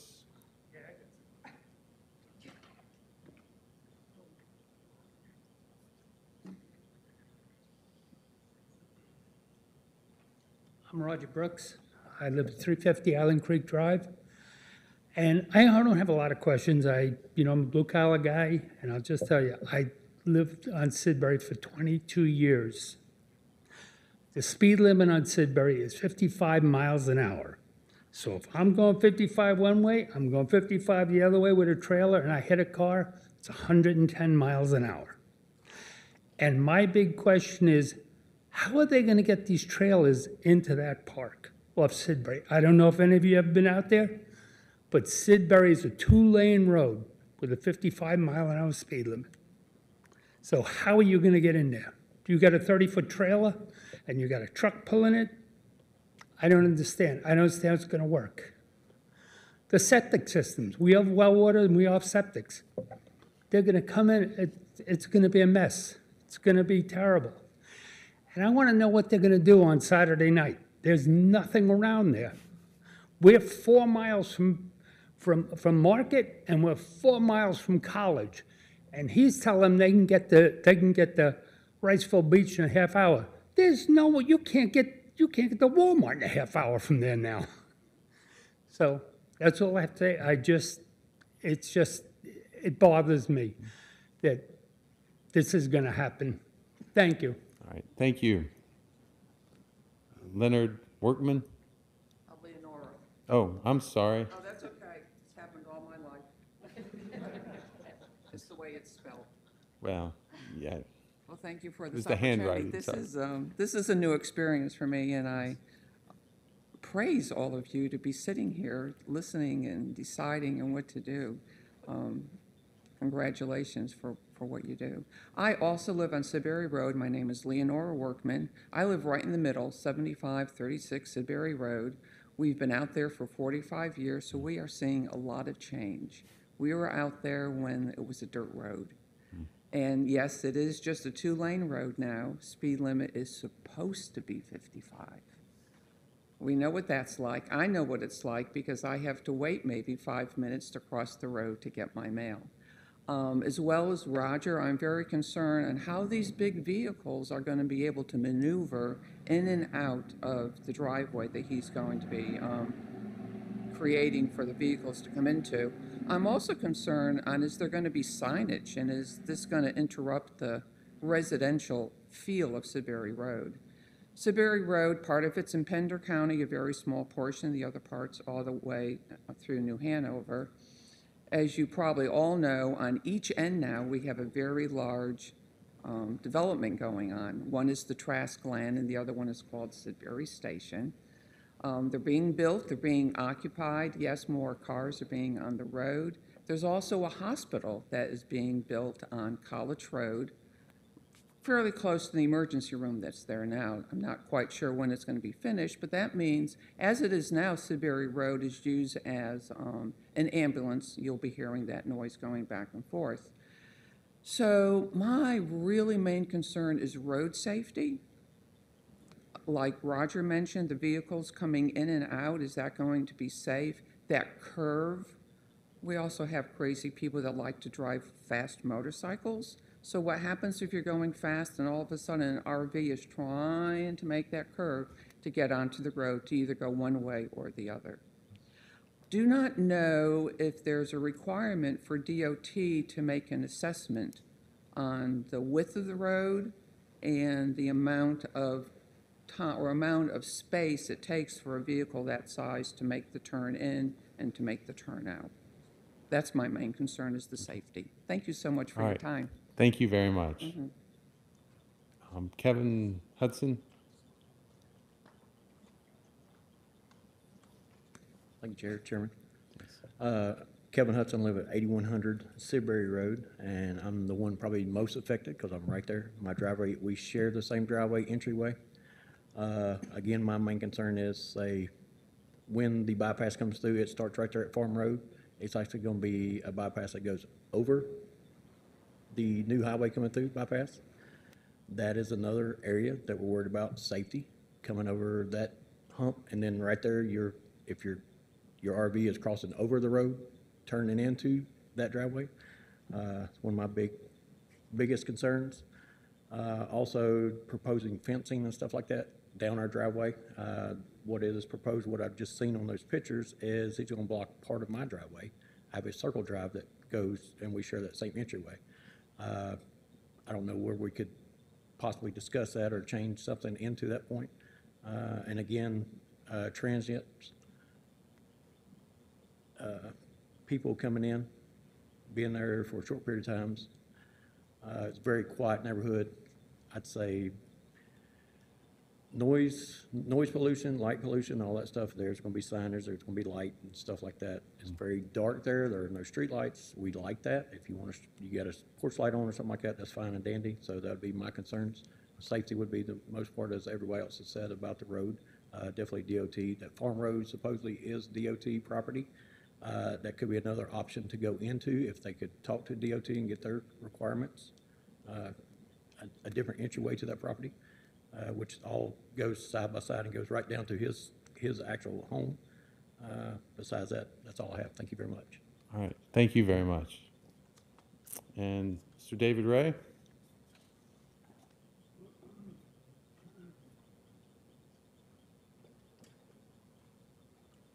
Mr. Chairman, members of the board, uh, my name's David Ray. I'm an attorney here in Wilmington, and I'm- I represent Sea Green LLC, which owns about five to 600 acres in the Sidbury Road vicinity that is dedicated to conservation and preservation of natural habitat. And so my client is a con- conservationist, not a developer. With everything that's been going on in the Sidbury Road area over the last couple of years and the explosion of development, you know, we are always interested in hearing what is going on. Um, Personally, not very familiar with the RV park concept, and so really came here tonight just to kind of listen, to gather some information. Uh, Mr. Nichols has answered some of the questions I had, and it sounds to me as if the board uh, has identified issues of stormwater runoff. Other neighbors have talked about traffic, and so I really don't have anything further to add, but uh, just want to thank you for your consideration and appreciate the uh, information everybody's providing. Thank you. All right, thank you. All right. As, since this is a preliminary forum, we have a little different um, layout. Applicant response, really, Mr. Nichols, do you have any, do you, would you like to, a response period? It Doesn't have a time frame, but do you feel like you've digested, or do you, do you want to speak any further? I'll say a few things. Thank you, Mr. Chairman. Um, I know, um, I'm glad to answer any questions the board may have in response to the public comment, for one. Um, A few of the specific ones, as I mentioned earlier, we're certainly willing to work with Mr. Hudson on the fence. That's no problem. We can, we can, I'm confident we could work on a design that would be acceptable to him. Um, I think, um,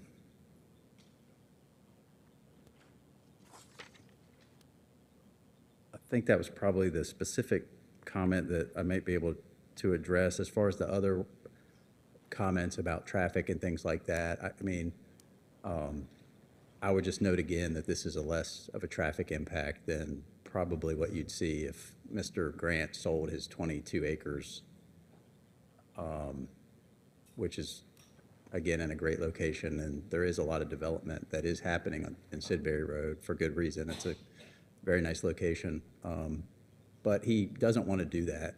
Again, he's owned the property for 10 years. He would like to do something uh, different and special with his property and ma, and operate the RV park. And so, um, we're, we're glad to continue to talk with the neighbors. Like I said, we had a community meeting. I don't think it was required, but we still had one. We met the, within the 500 feet and everything. And we're content, we're, we're glad to continue to meet with the neighbors. Um, the, I did want to note that if it's possible, um, to have, when this does go to the county commissioners, to have it not in September, but have it in October. Um, And part of the reason is because of the Labor Day holiday that the New Hanover County Commissioners are meeting on the same day as the city council, which doesn't happen at- at all, uh, very often, but it, it's, uh, creates a, a conflict. That will actually give us more time to work through some of the plan, and again, have some discussions with staff and the neighbors. So I think that's the October 2nd meeting, if that's possible to request that in advance. Um, I think the additional time would be beneficial too. Um, I think that's all I had to say. Mr. Nichols, I think, as you heard a lot of the, the, the traffic questions, I think if you would, um, n- not here, but maybe at, at the commission meeting. Yes, sir. Outline the requirements that you are gonna have to go through if you get approval through Yes, the, sir. The TRC, that, that there is a driveway permit review that looks at geometry, that looks at, at the approach and all of those things that, that you have to navigate. Um, just, I think to outline the, the stormwater process um, that you're going to review, the, the, how the septic get, gets approved, and um, uh, the commissioners, some of the commissioners may not be aware of, uh, you know, we don't see a lot of septic. We, we don't like septic. Um, You've already heard that. Um, But how that gets approved and, and the process, the review process, um, I think outlining that would, would probably be beneficial as well. Yes, sir. Yes, sir. Um, Um, Mr. Chair? Yes, Uh, Mr. I, I just want to make a few comments, in, in particular related to, uh, what we heard from some of the neighbors. Uh, just to reinforce, um, the process, the special use process, um, it is a, what they call a quasi judicial, uh, process, and, uh, the people who speak in opposition or, or, or for have to have a level of standing. And so it, it's important that as y'all, as the neighbors address these concerns, that they address them with facts and figures, uh, not just, I don't like this, or, or I think that's ugly. Uh, it needs to, it needs, it needs to have some, some, uh, real testimony to it. Um, and, and I, I think there's some things you can, you can mention, uh, the, the, the, the use of the horse farm, when we, when, when the ordinance was written related to buffer yards and setbacks and fences, uh, it, they probably weren't anticipating, uh, horse farms, they were probably anticipating neighbors, you know, neighbors next to a commercial use. So there, there's some legitimate concerns, I think, but uh, to just say it might upset the horses is probably not gonna be, uh, weigh very heavily. You need real information about how that type of use might affect the business that is next door, which is the, the, the ranch. So that, that's just the process that you're gonna go through. Um, regarding the traffic, uh, DOT is gonna, is gonna, uh, require that they design an access that is adequate for the RV use. I would, I would say that the, the ranch has been there and they're pulling trailers in and out, so it's obviously, it can be done. Um, but the improvements that this property is gonna have to go through are probably gonna be much greater than what the farm is, because they will have to go through the f- whole permitting process. So, uh, it's, it's a different process than what you saw here tonight. You, you got to see two other applications come through. That was a different process. That was a process where people could talk about their desires and the, the, the, what they feel like is an impact to them. The special use process requires, uh, um, a higher level of, of testimony. So I just want to make sure that y'all understand that that's, that's what you're, uh, need to provide at your, at, at the meeting with, uh, county commissioners. And to piggyback off that, thank you, Mr. Hipp, I'd almost like to have staff explain what, what standing is, uh, uh, one more time, just so anyone in opposition that wants to speak at the commissioners' meeting, because it will be a quasi judicial, you'll be sworn in, um, explain that, um, what standing means and, and who would be allowed to speak. So, so Mr. Petroff, I'll, I'll let our attorney give the more detailed answer. I will say that one of the things with standing is that it would be determined by the Board of Commissioners at the meeting. Um, so it's not something that's as easy as saying, yes, you have it, or no, you don't. But Ms. Richards can provide some information on what would be considered in determining that.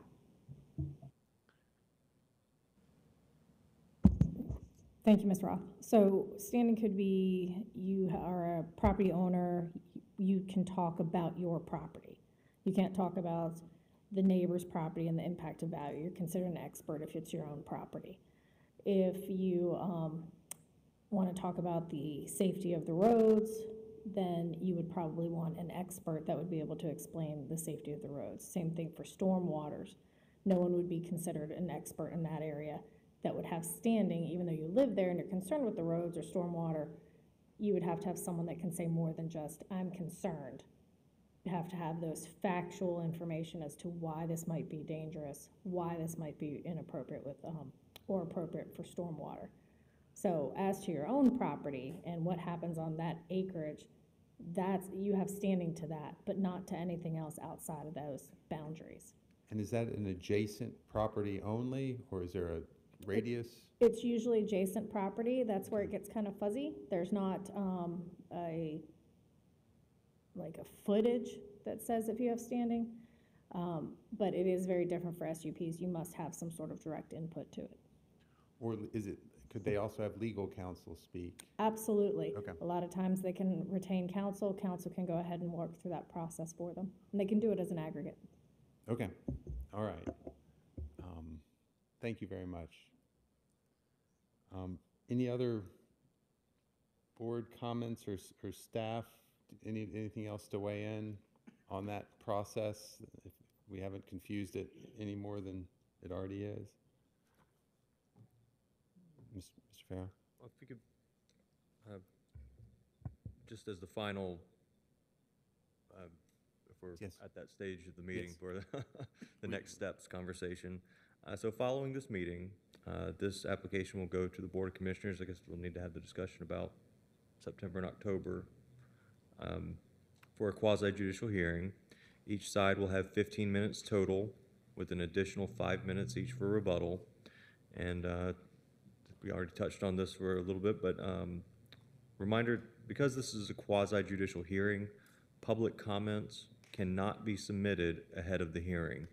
Any evidence related to this case must be presented in person at the hearing and must be based on uh, factual evidence, as uh, we kind of covered earlier. Um, Planning staff, we will be posting the staff report and supporting materials that will be sent to the Board of Commissioners on the county's development activity page beginning tomorrow for public review. Um, But that, All right. Well, thank you very much. I think that would, will close the preliminary forum and, and, but relay that, Ms. Roth, how, how will we put out the information on when this is going to the commissioners if, if the applicant's asking instead of the September fifth to push it to October? How will that information be disseminated? So the, the advertising for the Board of Commissioners meeting is very similar to what happened for tonight's meeting. Those of you who live in a certain radius of the property will receive a direct mailing. Um, we will have a legal ad in the newspaper. Um, and if you go to the county's website, there's an option to sign up for emails from our department about all of the items that are going to public hearings. If you have any questions about how to do that, you can hang around after the meeting and we can describe it to you, or you can give us a call at our office and we'll describe how to get signed up for those emails. Um, if it is going to the October second Board of Commissioners meeting, and that is the date for that, um, then you would likely, um, be receiving mail about two weeks ahead of time. And at that point, you should also see some signage along the road alerting you to the fact that there's going to be a public hearing. All right, thank you very much. So, so we've closed the um, preliminary forum. Appreciate everyone coming out for that. Thank you, Mr. Nichols. Um, Moving along, any staff updates, Ms. Roth? Um, the only thing that I will mention is that, um, we are getting close to finalizing the agenda for your joint work session with the Board of Commissioners on August 29th. It looks like that meeting, um, will need to go to about twelve thirty. Um, so we'll be sending you an updated invitation as well as the agenda for that, um, most likely tomorrow or early next week. All right, thank you very much. And I will note, I, I failed to um, recognize um, Mr. Cameron Moore coming onto the board. I I skipped over that at the beginning of the meeting. Welcome, it's good to have you here. And um, with that, I I get a, take a motion for adjournment. A motion, we adjourn, and I second as well. All right. All in favor, say aye. We are adjourned. Thank you very much.